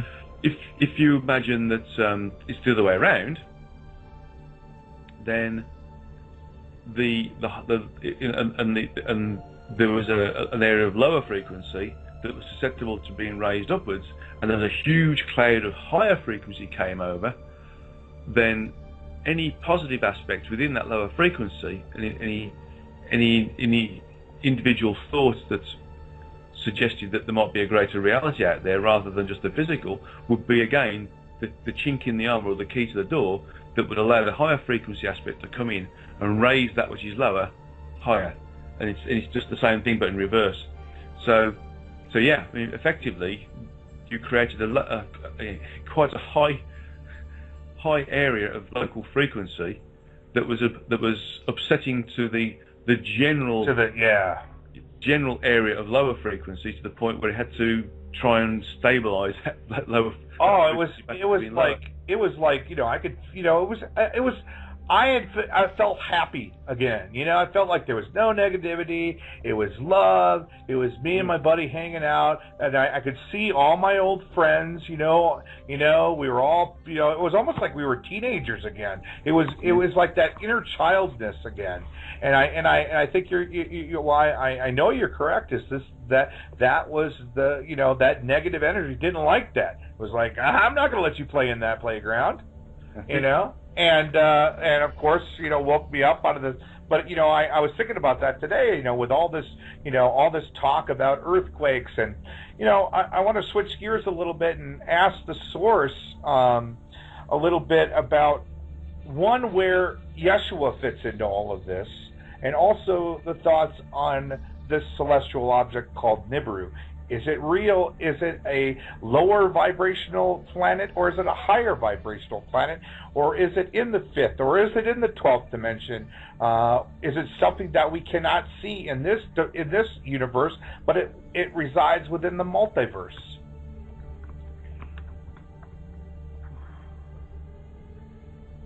Okay. The the aspects of the local density that you call Nibiru a planet is such that um, it is difficult to relay to you. I will explain further. There are many thought processes that are put into the minds of men to make them conceive the possibility of ascension, and there are goals that are put in place to achieve this. The thought of a nirvana, for instance, is one such goal. The thought of heaven is another such goal. The aspect of ascension is around us uh, consistently, and the opportunity to move forwards is consistent as well. The objective of moving from one locale to another locale is something that mankind will do. The need to coalesce around an area of local density, such as a planet, is not specifically necessary the higher up the frequencies one travels. And and so the need to focus on a specific planet as being an area where we will ascend to is not a a thought process that should be concentrated on. Mm. Although for those individuals who are on their spiritual path for the first time and they may be stepping up the ladder the first rung, then the knowledge of a locale which is going to be of higher frequency for mankind to move to, or the individual to move to, is an attractive thought and a useful thought process to use for them to move their thoughts from the lower frequency aspect of the physical to that which is of the higher energetic function. So, in essence, the planet that's been talked about, Nibiru being on a higher frequency, is but a useful conveyance to use for inviting individuals to think about the higher thoughts that are Ah. necessary to activate their awakening process. Individuals such as Joshua are merely a guide along the way to these thought processes. There have been many during the history of the earth, and as such you will know them as the Christ, the Buddha, and the Muhammad, and the Babaji. There are many of them, including many great yogis and sages in India who have traveled around the world to give mankind the processes and procedures to gain those higher thought processes and access those higher frequencies. In the time we call the middle 1950s, there were many opportunities for doing this, but many of them were of a physical nature to activate the higher frequencies through body movement, for instance. These individuals used the term of yoga to describe this, and the higher frequencies were established through the concentration needed to enact the physical movements and postures that were associated with those physical movements. The physical movements enacted a energetic response from the chakras, which in turn respected the opportunity to activate parts of the chakras that are associated with higher frequencies than that in the physical. So there are many sages, many masters, many individuals on the planet who over the years have been there to guide mankind forwards and have offered many different mental vehicles for them to use to move forwards in their thought processes. And this is merely just one of them. Mankind is going to be of a condition soon where he will not need the basic nomenclature that is currently being used for the higher aspect will be starting to be understood. This is an important move forwards for as mankind becomes more awake and aware, those thought processes which are needed to make that awareness become live are no longer necessary. They will be out of date, so to speak. Consider them like using a computer in the 1960s compared to using a computer in the current day. The necessary function is slow and clunky, whereas today it is relatively fast and concise and in more detail. The aspect of functionality is also greater, significantly greater, and the size is reduced as a result of technology. this is also the same for the spiritual understanding, for as we gain higher awareness, we also have aspects of ourselves which are able to understand that which is of a higher frequency content. So the use of such words are useful, but consider this, there are many other more detailed explanations that can be accessed when one is exposed to the higher frequencies and allows themselves to be exposed to the higher frequencies. Now, there was um, I, I, I have. I don't know if you're familiar with the Urantia book. Are you familiar with that? Uh, no, I'm not actually. No. The Urantia book was a book that appeared uh, sometime in the mid uh, mid early 1920s, and it uh, basically uh, describes the makings of the universe. Uh, basic talks about uh, Yeshua's life, but you know the missing years of his life, and it also talks about kind of how the universe, same same kind of stuff that you're talking about, but the the actual author of the um, of the book is unknown nobody knows about it. It kind of mysteriously came into existence. And um, there was a part in there, and we were talking about negative ent- entities. There was a part in there. It's called the Luciferian, the Lucifer uh, dialogues, and it talks about Lucifer and Satan themselves being two separate entities, and that Lucifer is the uh, architect, you could say, of this known universe that we live in, and Satan, of course, is a lieutenant of that which is the uh, the ruler or the, the, the, the person that is overlooking the earth and keeping it the density down, the third dimensions down within the earth.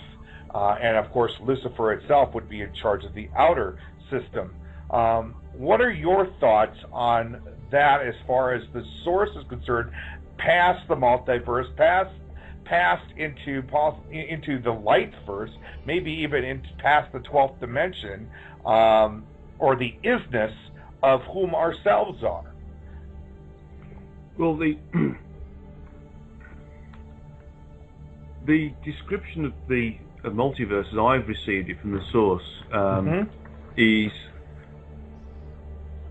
something that I found out later, very common to old yogic scripts of of of Spotty from um, individual yogis from about like let's say about hundred years ago have written books that I've, I've just managed to, to get that are and I'm quite surprised at the level of detail and how, how close it is to my own channel works because I've never read never read these books before, mm-hmm. and um, certainly didn't access them whilst I was reading whilst I was doing my own channeling. So it's it's a it's a joy to spot that the the overall picture was known by certain individuals of higher frequency in, in the past. Now, in terms of the, the two, um, I'll use the word entities rather than negative entities or Satan or um, or Lucifer. Mm-hmm. Uh, he, he, talks about them being two, but actually, the the entity that was involved with the creation of mankind and the giving mankind or energetic mankind uh, incarnate total free will um, was in full knowledge of the possibility that we could slip down the frequencies as a result of that with our, with our infatuation with the sensation aspect of the of the physical um, and therefore the attraction to the lower frequencies and as a result of that our sliding down to the lower frequencies so, in terms of the the comment about Lucifer being, um, if you like, the, the the, the the manufacturer of the physical universe, yes, loosely, loosely, mm-hmm. That entity could be, but actually, actually, Satan and Lucifer are one and the same. They're, they're, they're two aspects of the same entity. Okay. So, so if you consider ourselves as being a huge entity, sometimes we have aspects of ourselves that we split off to do various different jobs concurrently. And, and right now, for instance, both both you, Chris, and, and, and you, Don, may well be experiencing another existence elsewhere within the multiverse. Um, perhaps even up to 12 different existences concurrently as a result of your higher energetic self wanting to do that. Now, why I, why I said Lucifer could be classified as saying creating the physical universe is because it allowed the opportunity for mankind to have free will and therefore, of its own volition, be attracted to the lower frequencies. Mm-hmm. So, as a result of their attraction to lower frequencies, we create a lower frequency environment around us. And that low frequency we created was the low frequency aspect of the Earth and the low frequency aspect of the, of the, the, the, universe that we, we exist within. So, although we although we didn't right, although Lucifer uh, or Satan or the devil didn't actually physically create it itself, it initiated the opportunity for its creation. That being giving us free will and knowing that the possibility of that we could slide down the frequencies as a result of being attracted to the physical. But on the other side, it also knew that we could rise up significantly to the frequencies by also taking free will. And actually, this is what's going on now. We've bounced on the bottom and we're coming up the other side. So, So- that that makes sense there? Because Yeah, no, no, no. I, I got it. What, what are your thoughts, Chris, on that? Chris is muted. I'm just sitting back and just listening. In awe. enjoying in awe. Yes. Isn't this great? this is this is. I am so glad, Chris, that you have introduced me to Guy. This is just this this is awesome. I, I Guy, I I have been sitting down and reading some excerpts of your book, and uh, when I just looked through the table of contents, I'm like, wow, this is like all the stuff I love to learn about. Well, it's And, uh, amazing that Guy said this because I've always felt that my dreams were actually a glimpse into a parallel universe, Universe. or uh, existence somewhere else. Because some of the events just seem so real and so detailed. Some of them don't make any sense whatsoever.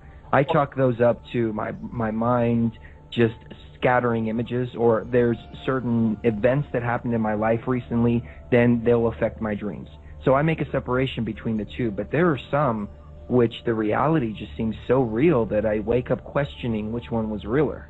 Oh, my! I, I got to tell you a guy this story. I, I might have told you this story, Chris, once before, but uh, my father, uh, who recently passed away, passed away in October, and my dad came came over to me last summer, and he he ran to me. He's like, he's like, what the heck were you doing downtown Minneapolis, getting out of a uh, out of a limousine in an Armani suit with a briefcase, walking into the IDS, which is the largest skyscraper in Minneapolis, walking to the IDS. I screamed out to you, looked at me, you laughed at me, and then you walked in.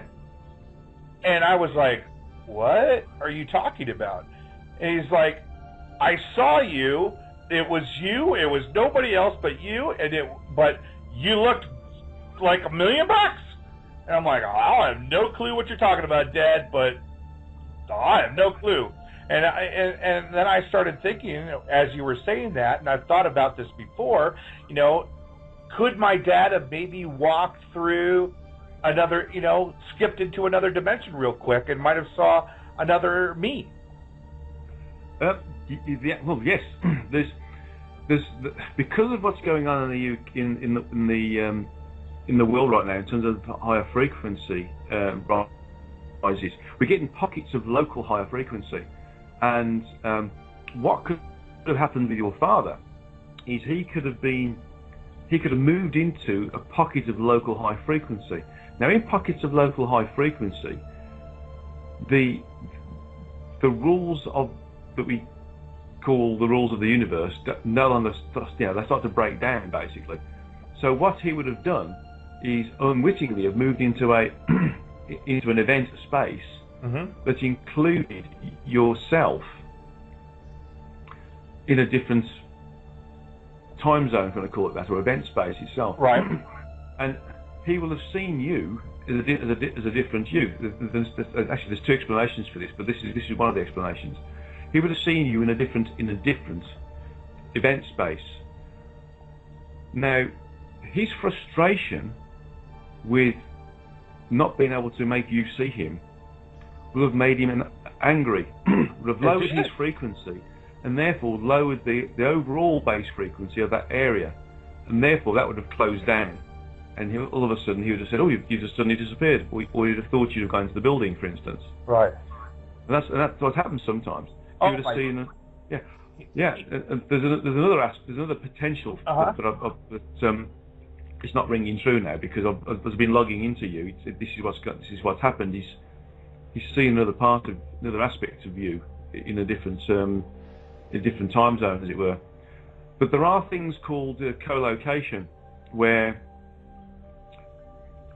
that higher energetic aspect of ourselves that is uh,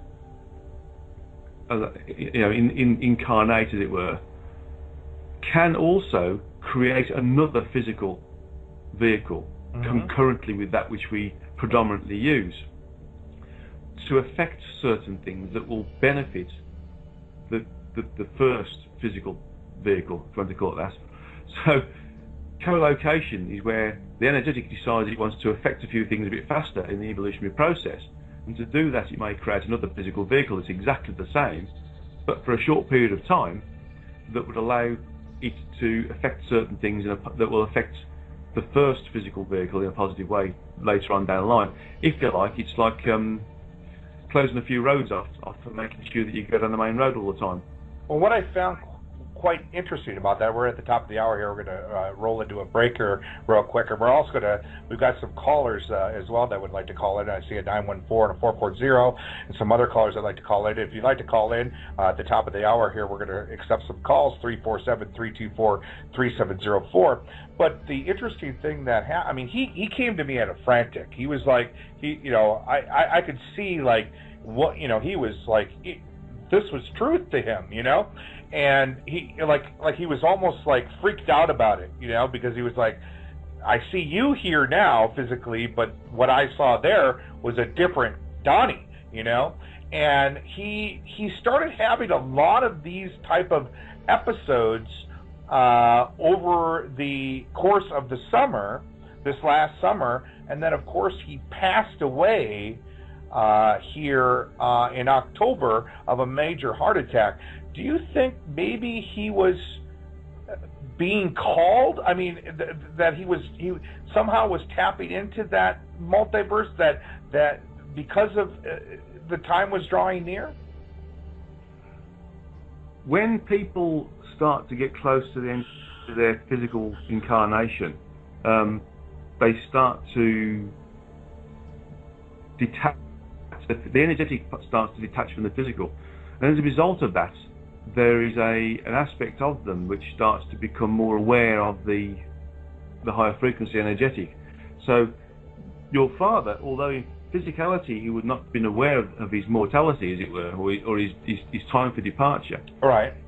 His his energetic side would have been moving away from the physical, which would have me, which, which, which would have meant that he would have been exposed as a physical uh, that part of him which was focusing on the physical would have been exposed to higher frequencies, and therefore he would have been, you know, able to see pockets of or able to invoke pockets of that event space where where you know you were, for instance. And he, he, he probably wouldn't even have realised that it was that, that, that, there would have been a, a, time gap or something. You know, he would have been accessing that which is, let's, let's say the words, in the future, for instance. Mm-hmm specifically because he, he he's experiencing higher frequency content as, as a result of his of his um, you know um, eventual passing from the physical back into the energetic. Now you said something about the future. Could he have saw a future event? Y- yes, absolutely. That's that's and that's what's coming to my mind is that he, for, for some reason, he needed to see that which you will become later, if you understand mm. that. And it was because he was departing before you become that which you will become, he was feeling disappointment in not being there with you and for you and to take joy in your, your progression. So he was being given a few gifts along the way because he was being pulled up the frequencies as a result of these the, the energetic departing the physical and therefore being exposed to the higher energies and therefore being allowed to see these different things. He was being a few, given a few gifts of seeing Donny in different scenarios or different aspects of your your future existence. So he was dropping into different event spaces where those event spaces are down the road from this current event space. Just, as, just as you said that, I had this, excuse me, I, just as you said that, I had an overwhelming sense of like his hand reaching out on me. It was, it was just, it was, well, let me gather myself here. Uh, let's take a quick break. I don't break down much, but uh, that was pretty intense. Uh, uh, we're gonna go into a break here. We'll be right back, guys, on 32 Degrees of Insanity right here on FreedomizerRadio.com. You know the Constitution like the back of your hand. You've read books, listened to podcasts, attended lectures, surfed websites, and watched videos. You've made liberty your life's goal, but something seems to be missing. Stickers from LibertyStickers.com. Exercise your freedom of speech with the world's most dangerous bumper stickers. That's LibertyStickers.com. But wait. There's more. You can buy Liberty stickers wholesale. Get them for 99 cents each when you put 100 or more in your shopping cart in any combination. Sell them or give them away. They're great for gun shows, flea markets, fairs, outreach, and more. Earn extra money, promote freedom, and spread the word. Need custom stickers, labels, or decals for your organization or business? Liberty Stickers makes them. Go to libertystickers.com to order or call 877-873-9626. libertystickers.com, the world's most dangerous stickers. What's up with these sorry politicians? Lots of bark. When it's showtime, whimpering like little shih tzus. You want big cuts? Ron Paul's been screaming it for years. Budget crisis? No problem. Got a trillion bucks year one. That's trillion with a T. Department of Education? Gone. Interior, Energy, HUD, Commerce? Gone. Later, bureaucrats. That's how Ron Paul rolls. Want to drain the swamp? Ron Paul. Do it. I'm Ron Paul, and I approve this message. This is Mercy.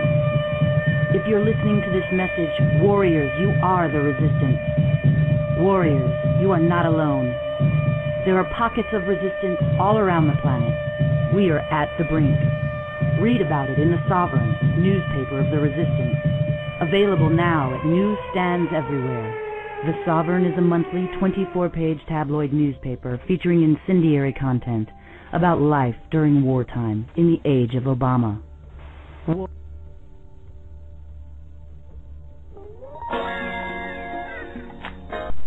Hello, listeners.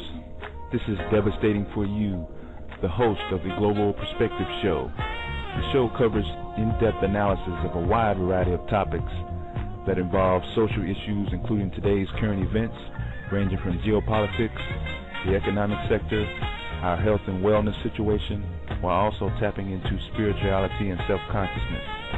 Our main objective is to bring awareness on how our society is being controlled and manipulated by unseen forces such as New World Order, the Illuminati, the Cabal, and other unknown secret societies that have imposed agendas that restrict our ability to operate in a free thinking, natural resource based, self sustaining environment. So make sure you join us every Tuesday and Thursday at 4:30 p.m. Eastern. That's 1:30 p.m. Pacific, 9:30 p.m. Greenwich Mean Time for international listeners. And also don't forget to tune in on Saturday nights right after Critic at 11 p.m. Eastern, 8 p.m. Pacific. Yeah, knowledge is power, but it's how that knowledge is used that will determine the fate of our current and future generations. You must be there in order to be aware on the global perspective on freedomizerradio.com. Ava Kihati in Reno, what are you doing on Freedomizer Radio on Thursdays 10:30 p.m. to 12 a.m. Pacific Standard Time and Fridays at 9 p.m. to 12 a.m. Pacific Standard Time? Well, Donnie Gilson, I am going to be hosting the heated conversation. But you already know this because you co-host. I sure do. Please join us as we talk about UFOs, the universe, comets, health and herbal medicine, paranormal activities, weather, planets, asteroids, earthquakes, spirituality, art, secret societies, and current events. I think we should add that we always have great guests, to pack chat room, and very interesting conversations, with your occasional quirky way we give the news. Just remember on Thursdays at 10:30 p.m. to 12 a.m. Pacific Standard Time and Fridays 9 p.m. to 12 a.m. Pacific Standard Time. The heated conversation. Oh, and by the way, we have our always fun chat room at freedomizerradio.com. That's freedomizerradio.com. Just click the chat and listen button. See you there.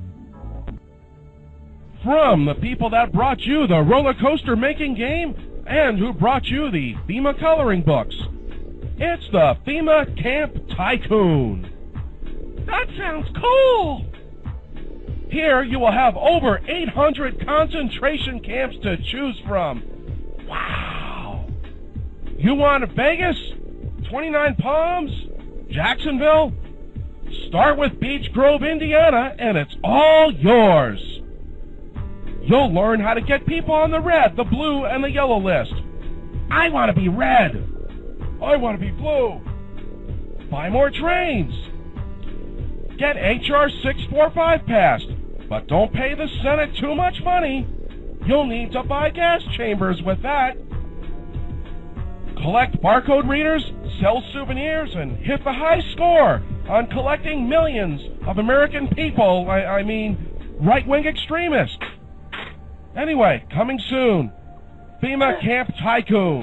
FEMA Camp Tycoon, right here on 32 Degrees of Insanity. Donnie Gilson, 1107 in the PM. Wow, I had to get my composure there. Chris Geo, you were right. This man, uh, guy, I, I, I, it was like when you were saying that, it was like I got this overwhelming like energy source that went right over me, like, uh, like almost like a, a, a hug, a spiritual hug. And then, of course, Mickey came out right out and uh, gave me a physical hug. But it, it was amazing, guy. That uh, wow, what what you did there was uh, I, I don't know, but it was uh, I could feel it. Well, I came across Dolores Cannon's work, and then I got in touch with her publicist, um, Stephanie, and Stephanie referred Guy. And I've got to say that all the levels that I've gone through with Ozark Publishing and all the people that I've met Uh-huh. have just taken me one step further and further and further, deeper, deeper, deeper into the idea of consciousness. And so the entire group of people over there at Ozark is absolutely amazing. I, I have to. I, I have to. I mean, this this is this is where truth lies. Within the, you know, I was I'm a I'm a uh, a a uh, student of Dr. Carl Jung, uh, and of course I follow his work, and I've always been fascinated by his work with the collective unconsciousness and how the the, the, the source and the one is, and of course the archetypes within our own personalities and consciousness. And uh, I have to say, I am learning so much uh, from you tonight, Guy, and I really appreciate it. Uh, tonight, we are going to take some callers here at the top of the hour. If you want to give us a call in, 347 324 3704. Again, my uh, host, ton- or my host, co host tonight is uh, Chris Geo of Truth Frequency, and my special guest tonight, uh, Guy Needler, uh, the author of The History of God. Guy, welcome back to the show. Thank you, Donny. Thank you, Chris. It's a pleasure to be on your show. I'm really enjoying it, to be honest. It's uh, fantastic. And I, and I have to say that the the energies that were created between us gave us gave um, the opportunity for, let's say, a portal to open up between yourself and your your father, and that's why you uh, had the experience you had before the break, basically. Um, Yeah, you don't catch the Don uh, uh, crying much, you know. I, but it was like, you know, I, I, I felt like I, I'm like, whoa, I couldn't even talk. And normally I'm like the, the, the one that uh, can carry on whether uh, uh, it is or not. But it, it, uh, it uh, was uh, amazing. I'm going to bring on a caller here uh, from 914 and see what he has. Uh, sorry, has a question for you here, uh, guy. Uh, 914, welcome to the show. This is uh, Donnie Gilson, 32 Degrees of Insanity, with uh, Chris Geo and Guy Needler. Hi, I would like to be called Sister Sarah tonight. Hi, Sister Sarah. Welcome. Hi, Sister Thank you. Sarah. Hi. Um. So, so Donnie, uh, can, what, what did you speak to him? Do you remember? What did you want to? What did you say to him? You were there, right? My father? Right? Yeah, just now. That's what was happening, right? And you were It felt like overwhelmed with knowing that it's all real, right? It, felt like it. It was, you know, Yeah. it was, uh, it was a spiritual hug. I could feel it going within my body. Yeah, of course. Yeah, and, and, and I'm asking you this because it's like because you're just you're so great being being like expressive and honest and out here, you know, right now, and it's it really can you'll you'll know what I mean when I if you just go a little further with this with me, it's it's like cause it's going to take courage. It's like think about it. Why didn't you? Why didn't I talk to him? Stay there with him. Yeah. Why didn't you talk more? Now it gets it, like just for the because this was a real. He was there. You, I know it. We were all there for it. Those of us who want to know. The other thing I'll just put in here before that question, before before you even think about that is, remember, remember, like th- Jesus said, those who seek will find. You've been seeking. You've been out there with that, with cameras and telescopes and making a radio station. You want to know what's real, the truth, right? Right. Okay, so that's why, you know, maybe we're not so like, uh, I'm just saying this to everybody, but just, you know, you're really seeking. So this is your co creativity that's happening. And it's really important to, like, stay in that esoteric practice of this experience for us all because we're dealing with so much information. But right now, your father, you know how long he's been trying to contact you? For that you heard him? Yeah. For real? For real? And how did he know that? Because you cried. A little bit. You started to. It was emotion. Right. It was mind. Okay, so so do you want to do, do you want to do that now, or you want me to just like keep going on with my ideas about this? Well, no, I, I, I would like you to go on with it. I, I, I kind of, you know, ideas? I, Okay, I, I don't want to get emotional on my show. Yeah, yeah, don't. and but you uh. But talk to and him. I, and I think it's, I, I would like to to have more uh, uh, interaction with our with our guest, of course, Guy. Okay, okay, all right, all right. Yeah. So, okay, so here what else? Here's what I wanted to say about this is that I, I first of all, it's like finally we're talking about what I really want to be talking about all along. This is it's amazing. However, uh, I Why do you sound so familiar to me? By the way. Because I talk to you all the time. I'm Sarah from Yonkers. Ah, Sarah from Yonkers. Yes. Yeah, but uh, tonight we are in. You know, there's a there's a co-creation of. It seems like I what I've heard. So anybody can correct me if I'm wrong. But I've heard us all agree we we like you know doing this. You know, having a creating co-creating a higher frequency or vibration, right? Right. So, so I, I would like to be known as Sister Sarah, where I, I am. I'm known in some circles as that. Uh, so, uh, uh, I, the Ascended Masters, first of all. Uh, actually, I want to ask you: um, Are you familiar, anybody here, the term Kumar? The Guy? seven Kumaras. The seven Kumaras. Guy, would you like Seven to? Kumars. Um, no, I've not. Um, I've not. Uh, not been exposed to that. No.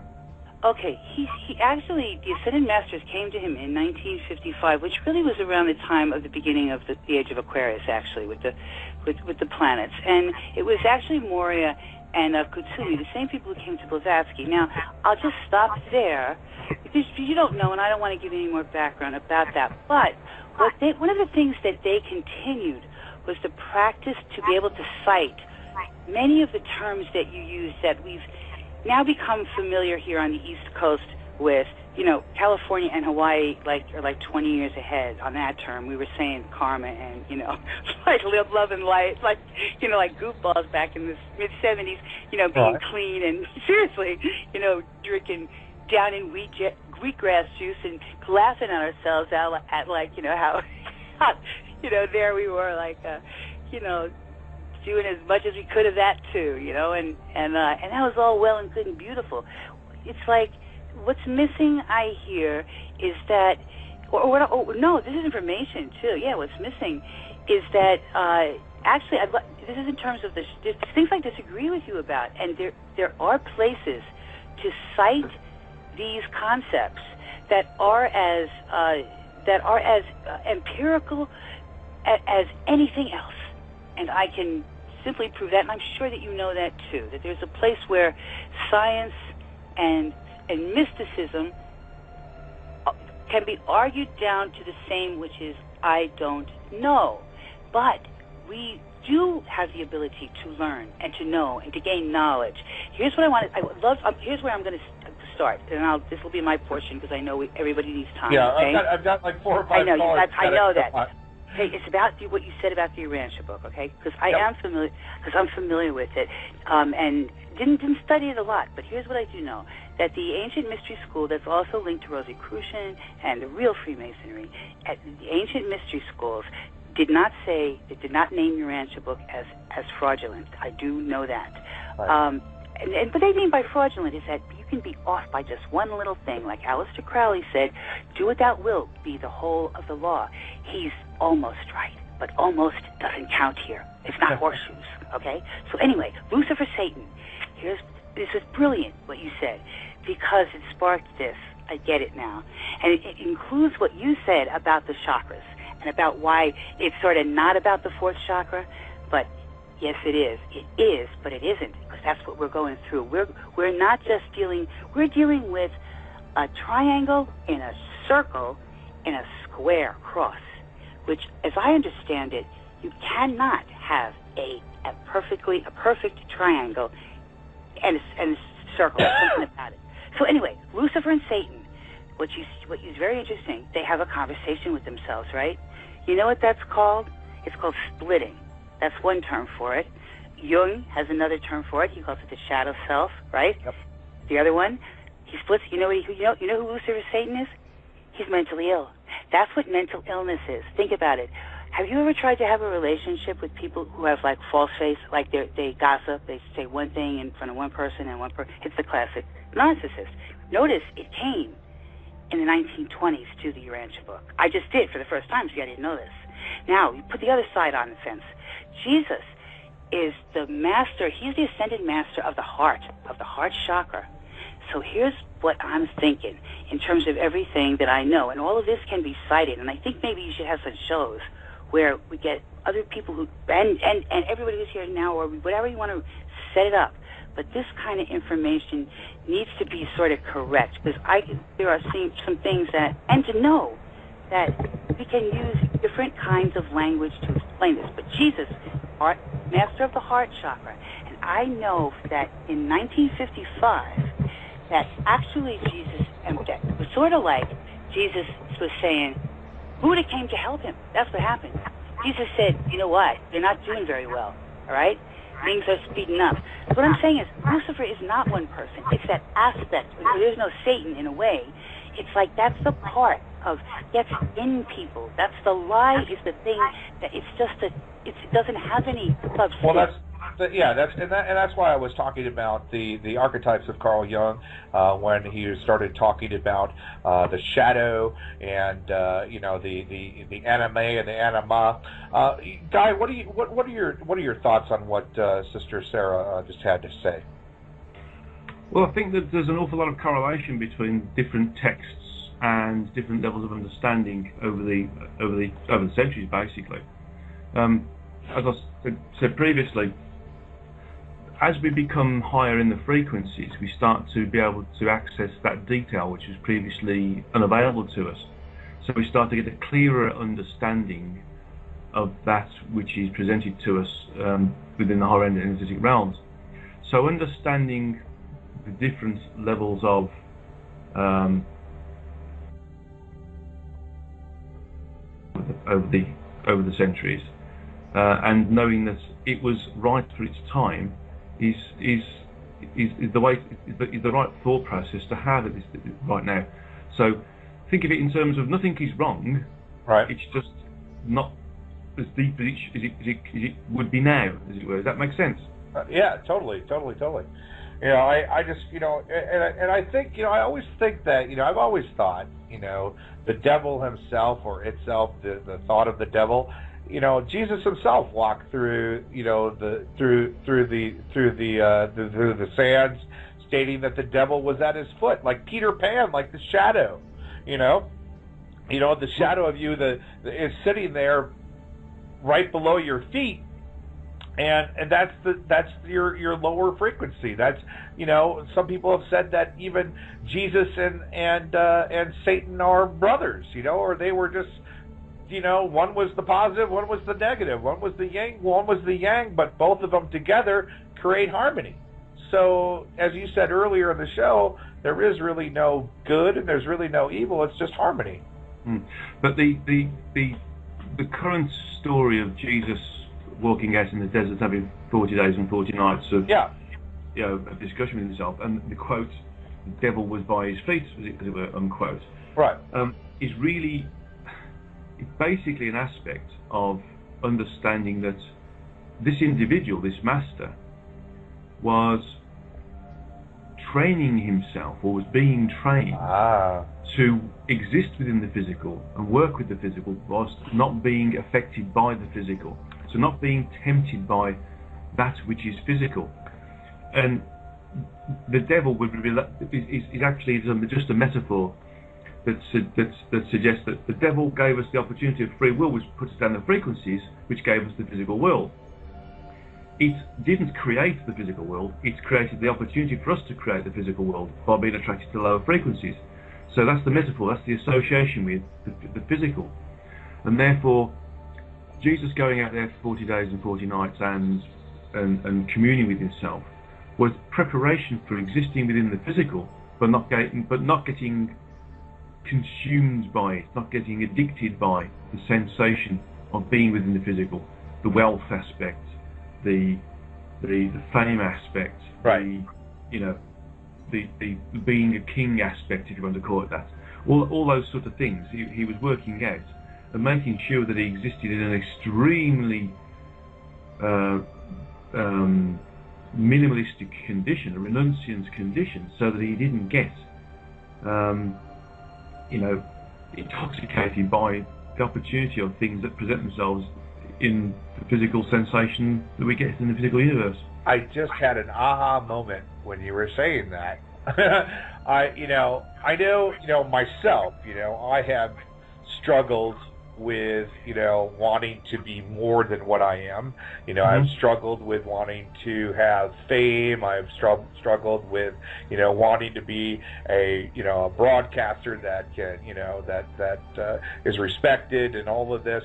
But on the other hand, I also have seen as I have grown spiritually over the years, and you know, I'm talking when I was in my 20s and my 30s, but now as I've grown into my 40s, I see that diminishing, and I see that that uh, uh, minimalistic world that I like to live in, in my own little private world. Yeah, it's fun to get on the radio, play, and have some fun and talk and and throw stuff out into the universe because I know that what I'm throwing out there is good, positive energy, and like a boomerang effect will come back and and allow me to grow. Um, and but I, you know, it's it's it it it gets to the point, you know, where now I see I still see all of this greed out there in the world, and you know this this you know how we're grooming children to uh, want fame and power and all this, and and, and and and that's not a part of the new world. I don't believe. Well, exactly. Yes. I mean, this, this is the thing. You see, it's, it's of recognizing that we need to exist in the physical, and we only need that which we need to exist in the physical, and we don't need anything more than that. Um, there's an old adage: somebody who earns a hundred pounds a year, and this is a long time ago. This old adage, um, but spends 101 pounds is, is unhappy. Um, somebody who spends who owns 100 pounds a year and spends 99 pounds only is very happy.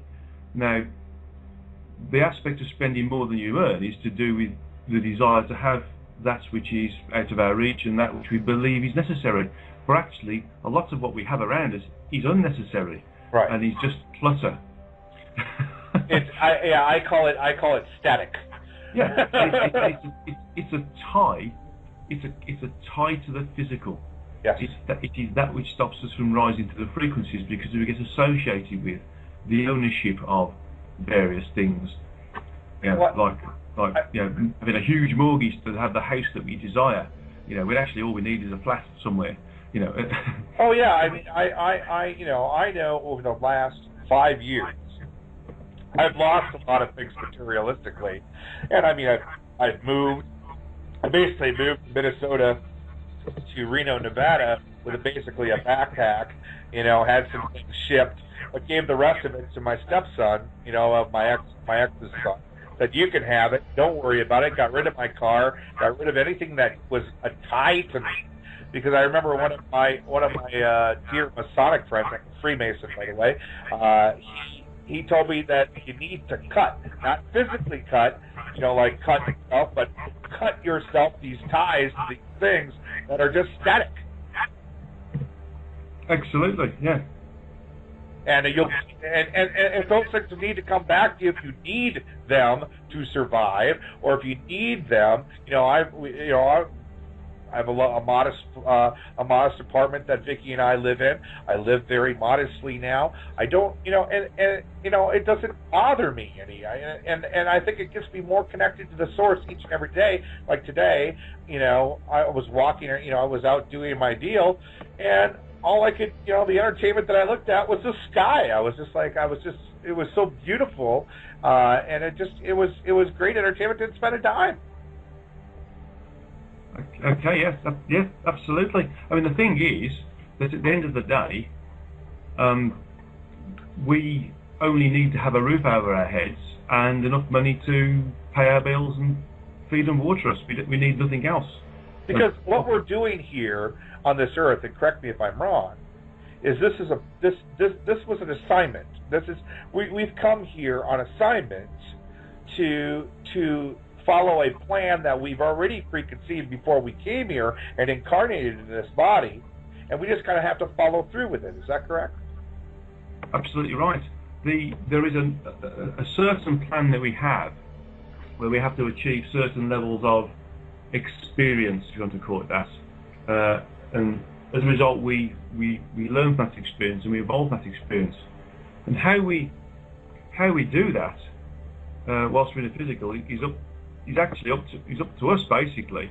Um, now, the objective of doing it in the physical is that we don't have we don't have access to that higher high level aspect of ourselves that that is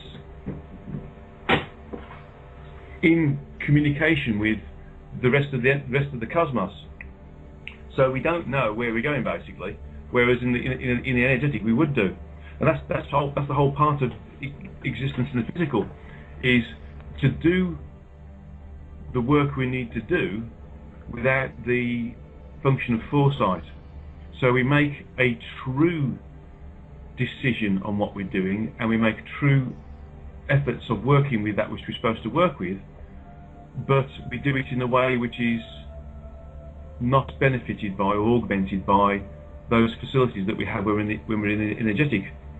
Yeah, in effect, we're doing things blind, but we're doing them blind because in doing them blind, we have an opportunity to evolve much, much faster than what we would do if we were, um, you know, given with sight, basically. It's like driving a car. sure. Uh, Guy, I got a, I got another caller here that I want to. And, and Sister Sarah, sorry I cut you off there. Uh, was uh, wanted to get a point out here with with Guy, but uh, we've got one of our uh, regular listens uh, listeners uh, calling in here. Uh, four four zero. This is Donnie and uh, uh, Guy and Chris. Uh, welcome to the show. Yeah, hey guys. Uh, yeah, in the chat I'm Star family member, but uh, you guys just call me Mike. I just really had a quick question, and that's why I was waiting so patiently to Oh. uh, talk. Um, I was wondering uh, because since we have a uh, you know a guest on the show tonight that's so familiar with frequency, I wanted to ask him if he was familiar with all of the government research on frequency between I believe it's uh, 8.4 and 8.6 megahertz, which is all of the range between all of uh, human beings. Basically, it's it's the frequency that our brain works on. It's you know somebody cracked the code that uh, you know all of the biomechanical electricity our body creates for our, ner- our nervous system that shot up into the brain. It, it works within this frequency of 8.4 megahertz to 8.6 megahertz, and the government has been studying this for I, you know, it's it's been for a while, but uh, I guess recently they've stepped it up over the past uh, two or three years. I just wanted to ask the guest uh, if she knew anything about that, and uh, basically, if she does know something about it, is it true that they are working on ways to manipulate the way we think. And I can already prove before I, I, I hang up that some of the things are there, um, like the new iPod or iPad, sorry, the new iPad that just came out has this new retinal screen that actually works with the optic nerves of your brain. Like you look at the new iPod, iPad, and you know you see a picture on the screen, but it's more than that. Like the picture on the screen, like it's sending a frequency. The iPad itself sends this 8.4 to 8.6 megahertz into your brain, directed toward your toward your optic nerve to make the whole picture you know, greater. Or um, another one was uh, in New York City. They had a, uh, a billboard, and you walk past the billboard, and people would walk past the billboard, and you know they would hear whispers, you know, but there was no sound. There was no speaker because the whispers that were heard were actually uh, this, this 8.4 to 8.6 frequency directed towards their oratory or their, uh, you know, their not what is that called? Yeah, the their hearing Auditory. nerves, auditory. Yeah. So that's all I wanted to say, and I'm gonna hang up. But uh, yeah, I, just, I was just wondering if you knew about the government research of the 8.4 to 8.6 megahertz frequency, and that's like basically the frequency that our human body runs on. You know, the biomechanical energy energy from the potassium ketamine cycle or whatever it is Mm. that uh, creates electricity and the frequency. Anyways, I'm I'm going to get off, and I just wanted to say thank you and uh, have a nice evening, and I'll listen to your response if- if- on the other side. Yeah. All right. if, right. The caller, if the caller stays on a moment here, Donny. Yeah, yeah. um, I've, I've- I've not actually heard of that of that experimentation, but as you were speaking, I did pick up um, something from the, the, the, source entity to explain what, what is going on. In effect, there, there is there is research for in, to use this level of technology in two ways. One is to use it for military aspects, Mm-hmm.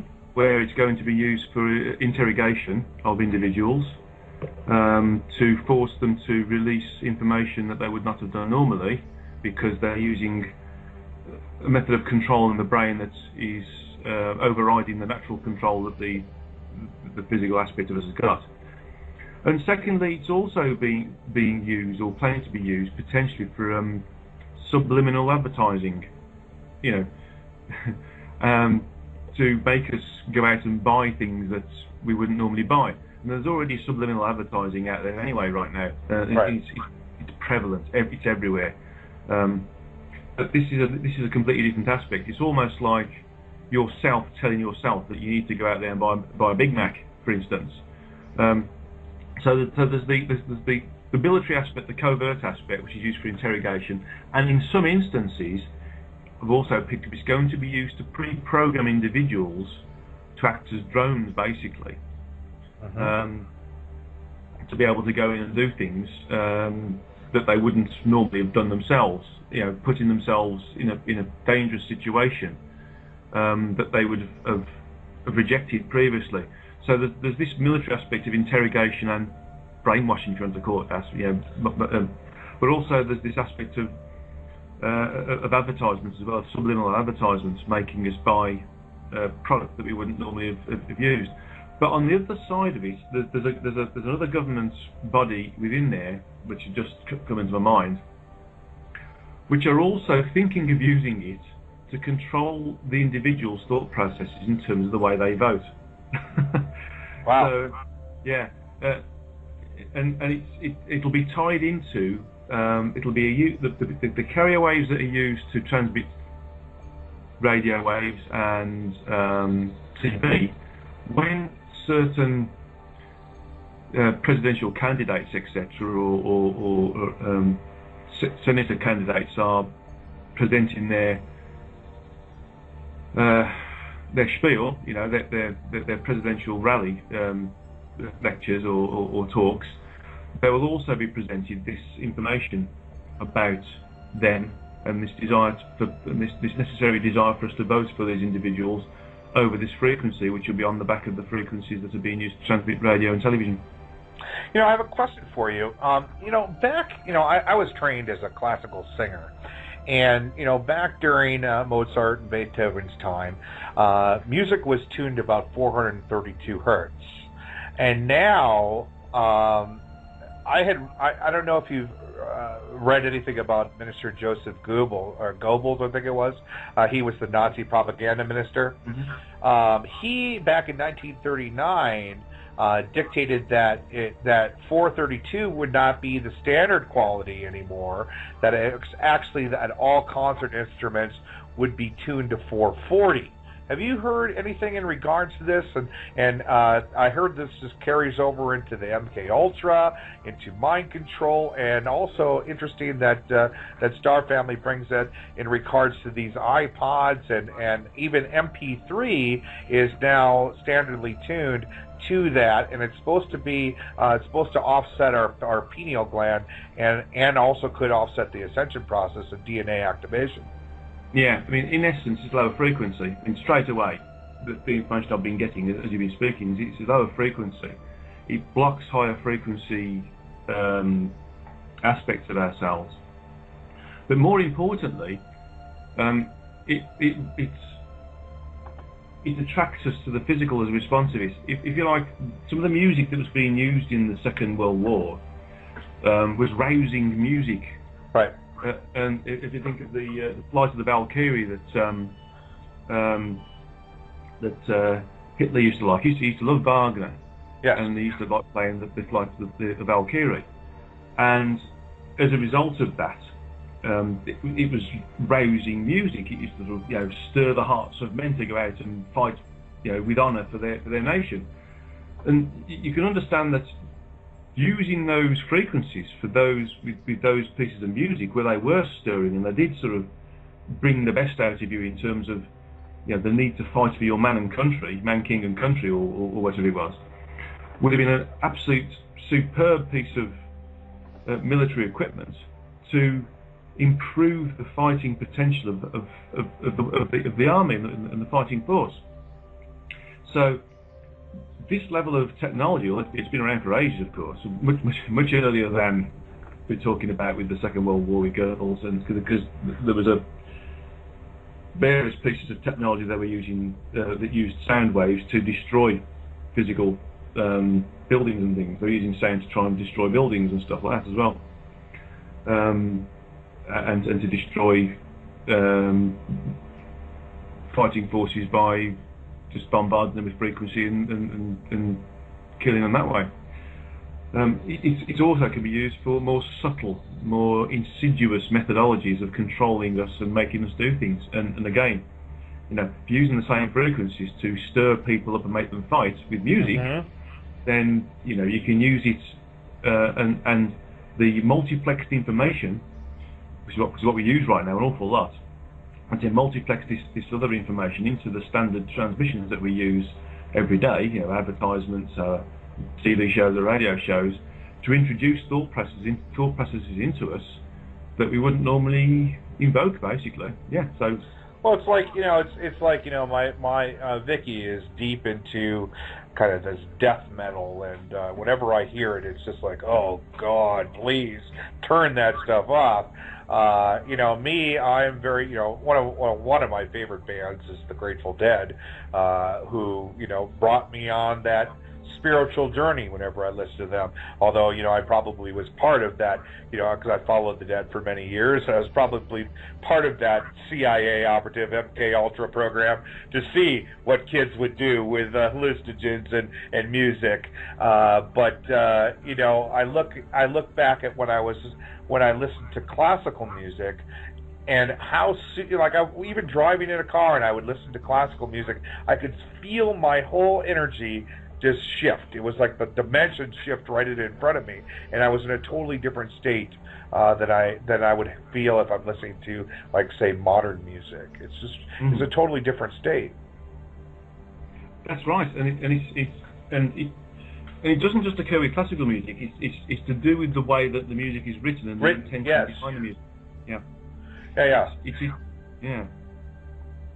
It's um, it's specifically to do with the intention behind the music and the way it's written and the The, Oh, that's a the, good. That's a good. Fre- the yeah, the, the frequency behind- exact as a result of it. Yeah. the intensity behind the music. Um, you know, another another question I have for you. Now we we we, we talked. We I mean, we've had an incredible show here, and Guy, I really uh, want to thank you so much for joining us tonight. Uh, I know it's a lot. It's, uh, what time is it over there? Uh, you're Um, it's it's six forty in the morning. 40 in the morning. So you woke up early for us. Thank you so much. I I greatly. Well- you're over in the UK, is that correct? yeah, well, yeah, I, I tend to get up usually around four forty-five, five o'clock anyway to do my meditations. So Ah. It's not too early for me. good, good, good. Uh, let me ask you. Now, you, you said okay. You, you said you've got a new book coming out. Is that correct?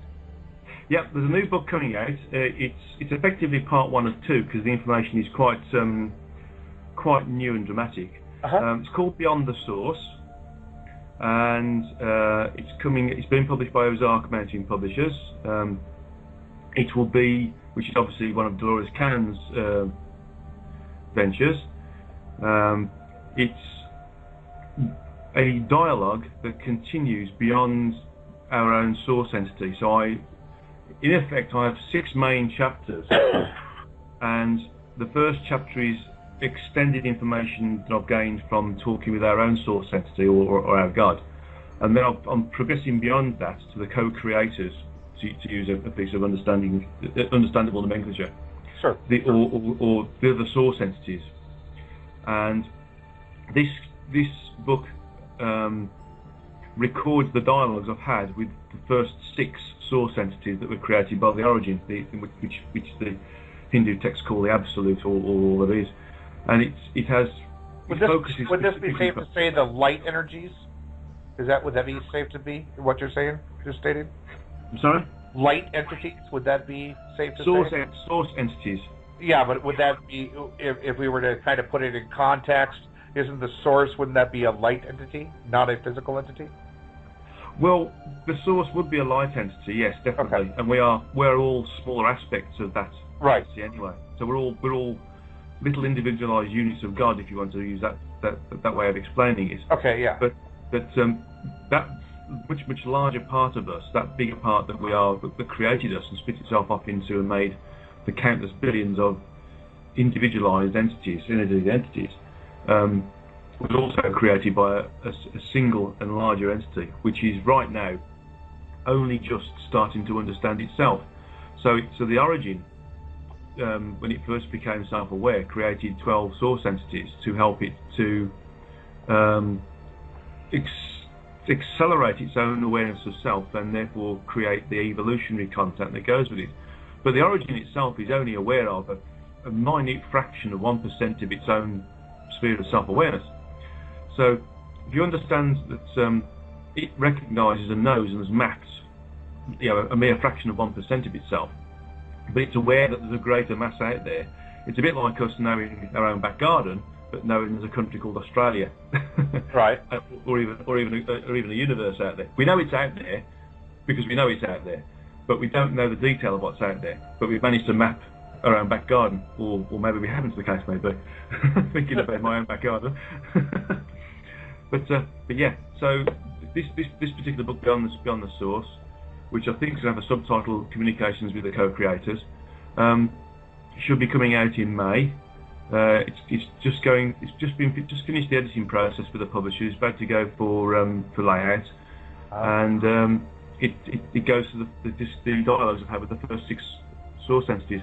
The second book, I'm two thirds of the way through, which goes through dialogues with the, with the the second six or the last six of the twelve source entities, or the last six of the twelve co-creators, and that should be finished in time for the transformation conference, which is being held in Rogers. Um, uh, in middle of July. this Now, year. Um, one other question that, that I have, and, and Chris Geo on his on his show on Truth Frequency uh, this past weekend, uh, there was a conversation about the Hollow Earth, and uh, what are you, what is your take on this so-called Hollow Earth do you believe there are, are there entities underneath us that are connected to the source? Is there a hollow Earth, or is it a or or is it a falsity? And of course, the Earth is a solid mass object, and we are the we are the the the, the beings that were put on this Earth through the source to to uh, experience this. And or are there other entities among us that we just do not see, and possibly within a hollow Earth? Yeah. Quite simply, um, the the Earth does have an, an, an, amount of hollowness, if you want to call it that, but not not in the way people think. There are subterranean. We probably yeah, there, there are subterranean constructs that have been created by other entities, physical entities that are outside of our frequency range, that are there to help help manage the Earth and help the Earth ascend as well, and, and points and sometimes help us being pointed in our direction. So they're sometimes called the keepers. They're, some, they're, they're sometimes called other, other other race names, but it's, it's, that's unimportant. They're there to help maintain the Earth and, and, and work with us um, and help us evolve. But there are entities out there who are purely energetic in nature and can exist within what is supposed to be physical. Sure. And do and do exist within what is supposed to be physical they decide that they, they desire to do that or decide to do that. So there are entities who, who are residing within the Earth who are purely energetic in, in, in nature, uh, and they don't, don't need to be on the surface. They just move around the inside basically because that's what they want. That's what they that's what they do. That's what they're working with. And in some instances, some of these entities are purely energetic in nature, not physical at all, and then and they are also maintaining the Earth as, as a result of that. So the the aspect of is there a hollow Earth, not specifically, are there constructs to allow the existence of other entities work with the Earth? Yes, they're all they're all over the place. However, the aspect of a, a large hollow Earth is merely a figurative speak Mhm. for that which is relevant to other entities which can move at will throughout the, the, the, the construct of the Earth. Now, the last the last part of your book, uh, and, and I read the, the book description earlier. It says uh, the last sentence. It says also includes information on extraterrestrials as a similar species and their involvement with the human race. Can, can in the last ten minutes of the show, can can you kind of expand on that? Because I, I one of the things that we've been discussing here on 32 Degrees of Insanity is the involvement in extraterrestrials as fallen angels, uh, as you know, we could be having uh, a disclosure coming here fairly soon, uh, mass landings and such, uh, false flags, uh, people taking uh, people away in ships. Uh, of course, the the Georgia Guidestones 30 32 year anniversary is coming up here, which people have talked about that say, you know, that we'll have mass landings. People are going to get on these ships. They're going to go up into into these ships. They're going to the the entities are going to say, hey, look at the Earth. The Earth just got destroyed. You came with us, thank gosh, because you know we saved you. We're your savers. What are what are your thoughts on that? Um, well, there, there certainly are other entities that are of a physical nature, and they are of a physical nature that is just about perceivable by ourselves with our own human eye. and they're all over the physical universe. Mm-hmm. Um, we are, if you like, in quarantine because of what we're doing in terms of our free will experiments and therefore able to, to affect all sorts of different things. We're in quarantine. But the Earth is, is, is a bit like a, an important piece of circuitry in, in, a, larger computer circuit. When we when we ascend, that part of the circuitry will start to work again, and the whole universe will ascend. So there's a lot of there's a lot of interest in this experiment, as it were, by those other physical entities who are not specific, not who haven't got individual free will, but they've got individualized, but need to be necessarily collective in their will and their decision process. So if we if we succeed in what we're doing, and we are going to succeed, then these other entities will be given the same gifts as what we've got. So they are coming along and they're having a look at us and they're observing what's going on because it's the greatest show in the universe right now. Right. Um, uh, and you know, there are physical entities that are, you know, from different galaxies and different planets within our own galaxy, and there are entities which are, you know, completely energetic in nature, but they're nevertheless physical. Mm-hmm.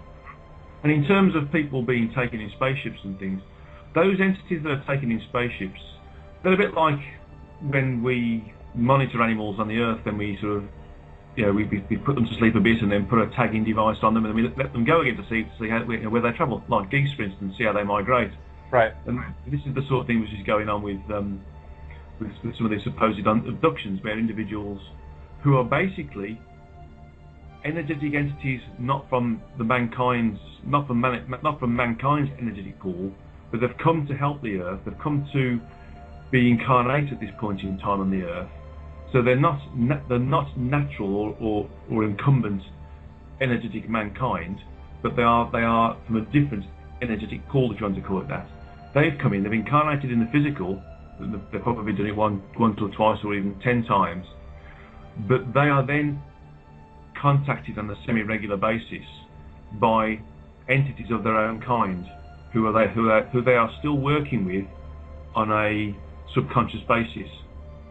So they are being taken away and being monitored, and they feed back information. They get and they, and they download information about the intricacies of working within the physical. Well, I. terms, Go ahead. Sorry. Sorry. No, no. Go ahead.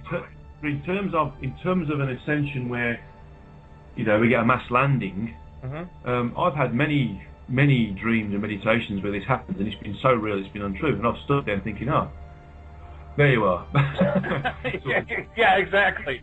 That that's Yeah. that's that's exactly the way I feel. I was like looking at the clouds, you know, and the clouds the other day we're looking here in Nevada. You get what they call UFO clouds. It's a strange, you know, really you don't see how many the, uh, anywhere in the in the in the world other than here in the Sierras.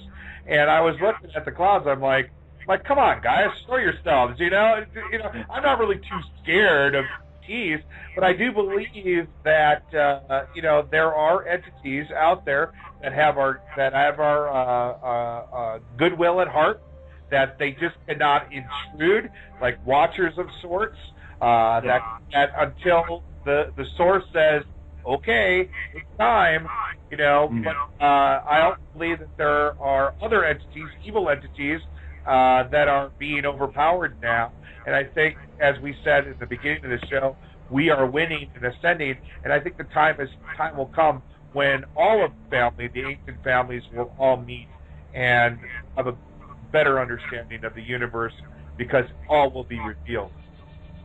Yeah, and, and there will be a there will be a, a, a, a revelation, if you want to call it that, um, at, a- at a point in, in time where it will be natural as a revelation. We will discover and supposedly be discovered, if you want to call it that.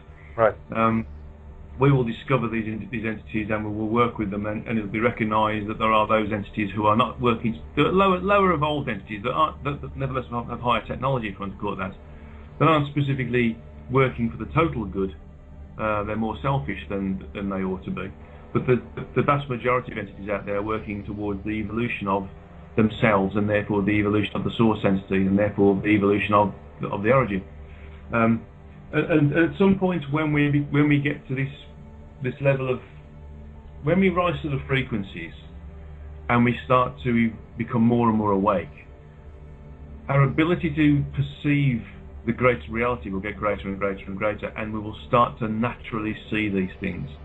So, in terms of a great, a giant spaceship landing, you know, like globally, um, I'm not getting the impression that that will happen. But what will happen is we'll start to see them more, and we'll start to see them more.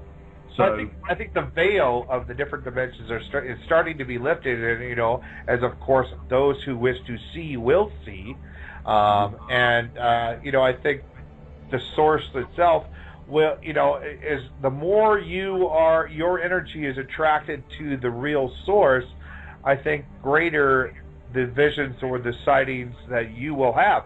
Because I have had first contact. I know I have. I've met entities that are from uh, out of uh, from not of this world. However, they do look like entities that are from this world. They look like you and me.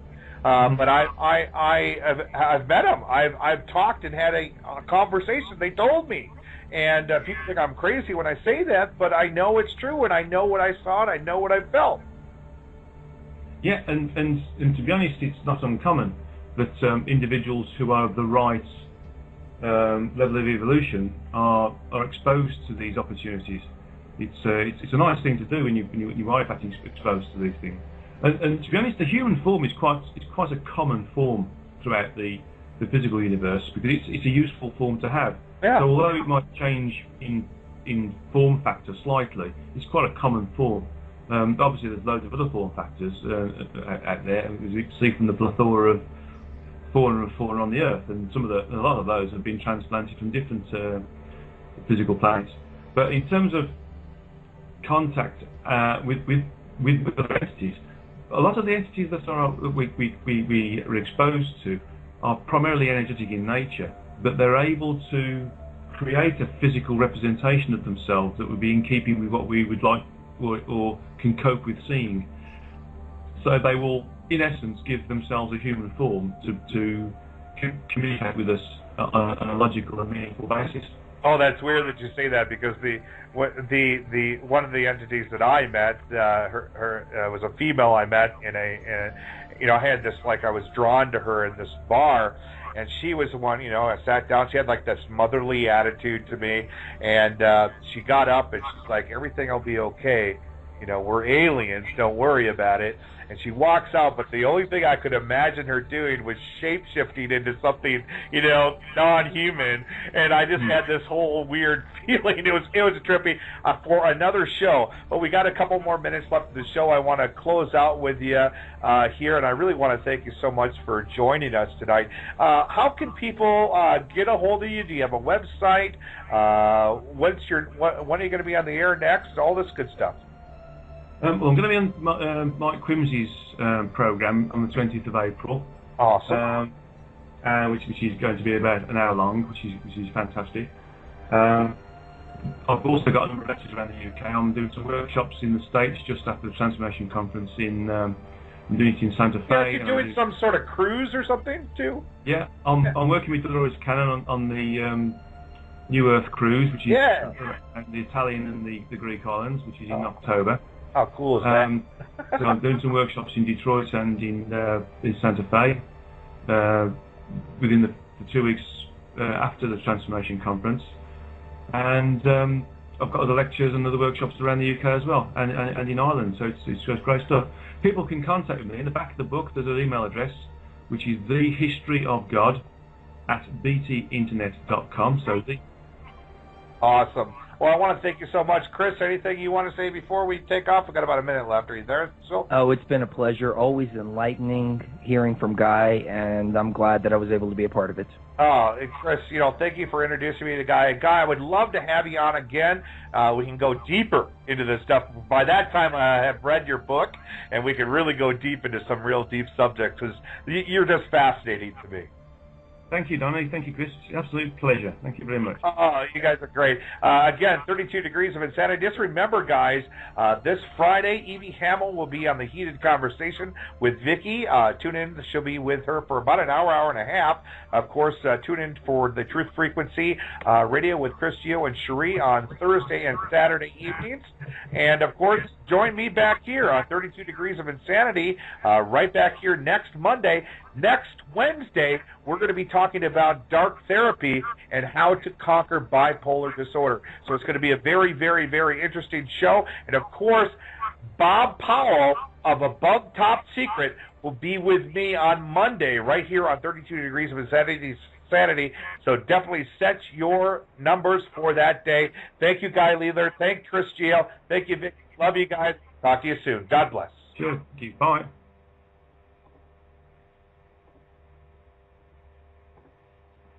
Thanks, guys. Hey, thanks, Donnie. Hey, I've got to go you. get these carpet cleaning chemicals off of me. Oh, not a. I walked in 10 minutes before the show. All right, guys. Talk to you later. God bless. Have a great day. Bye Cheers,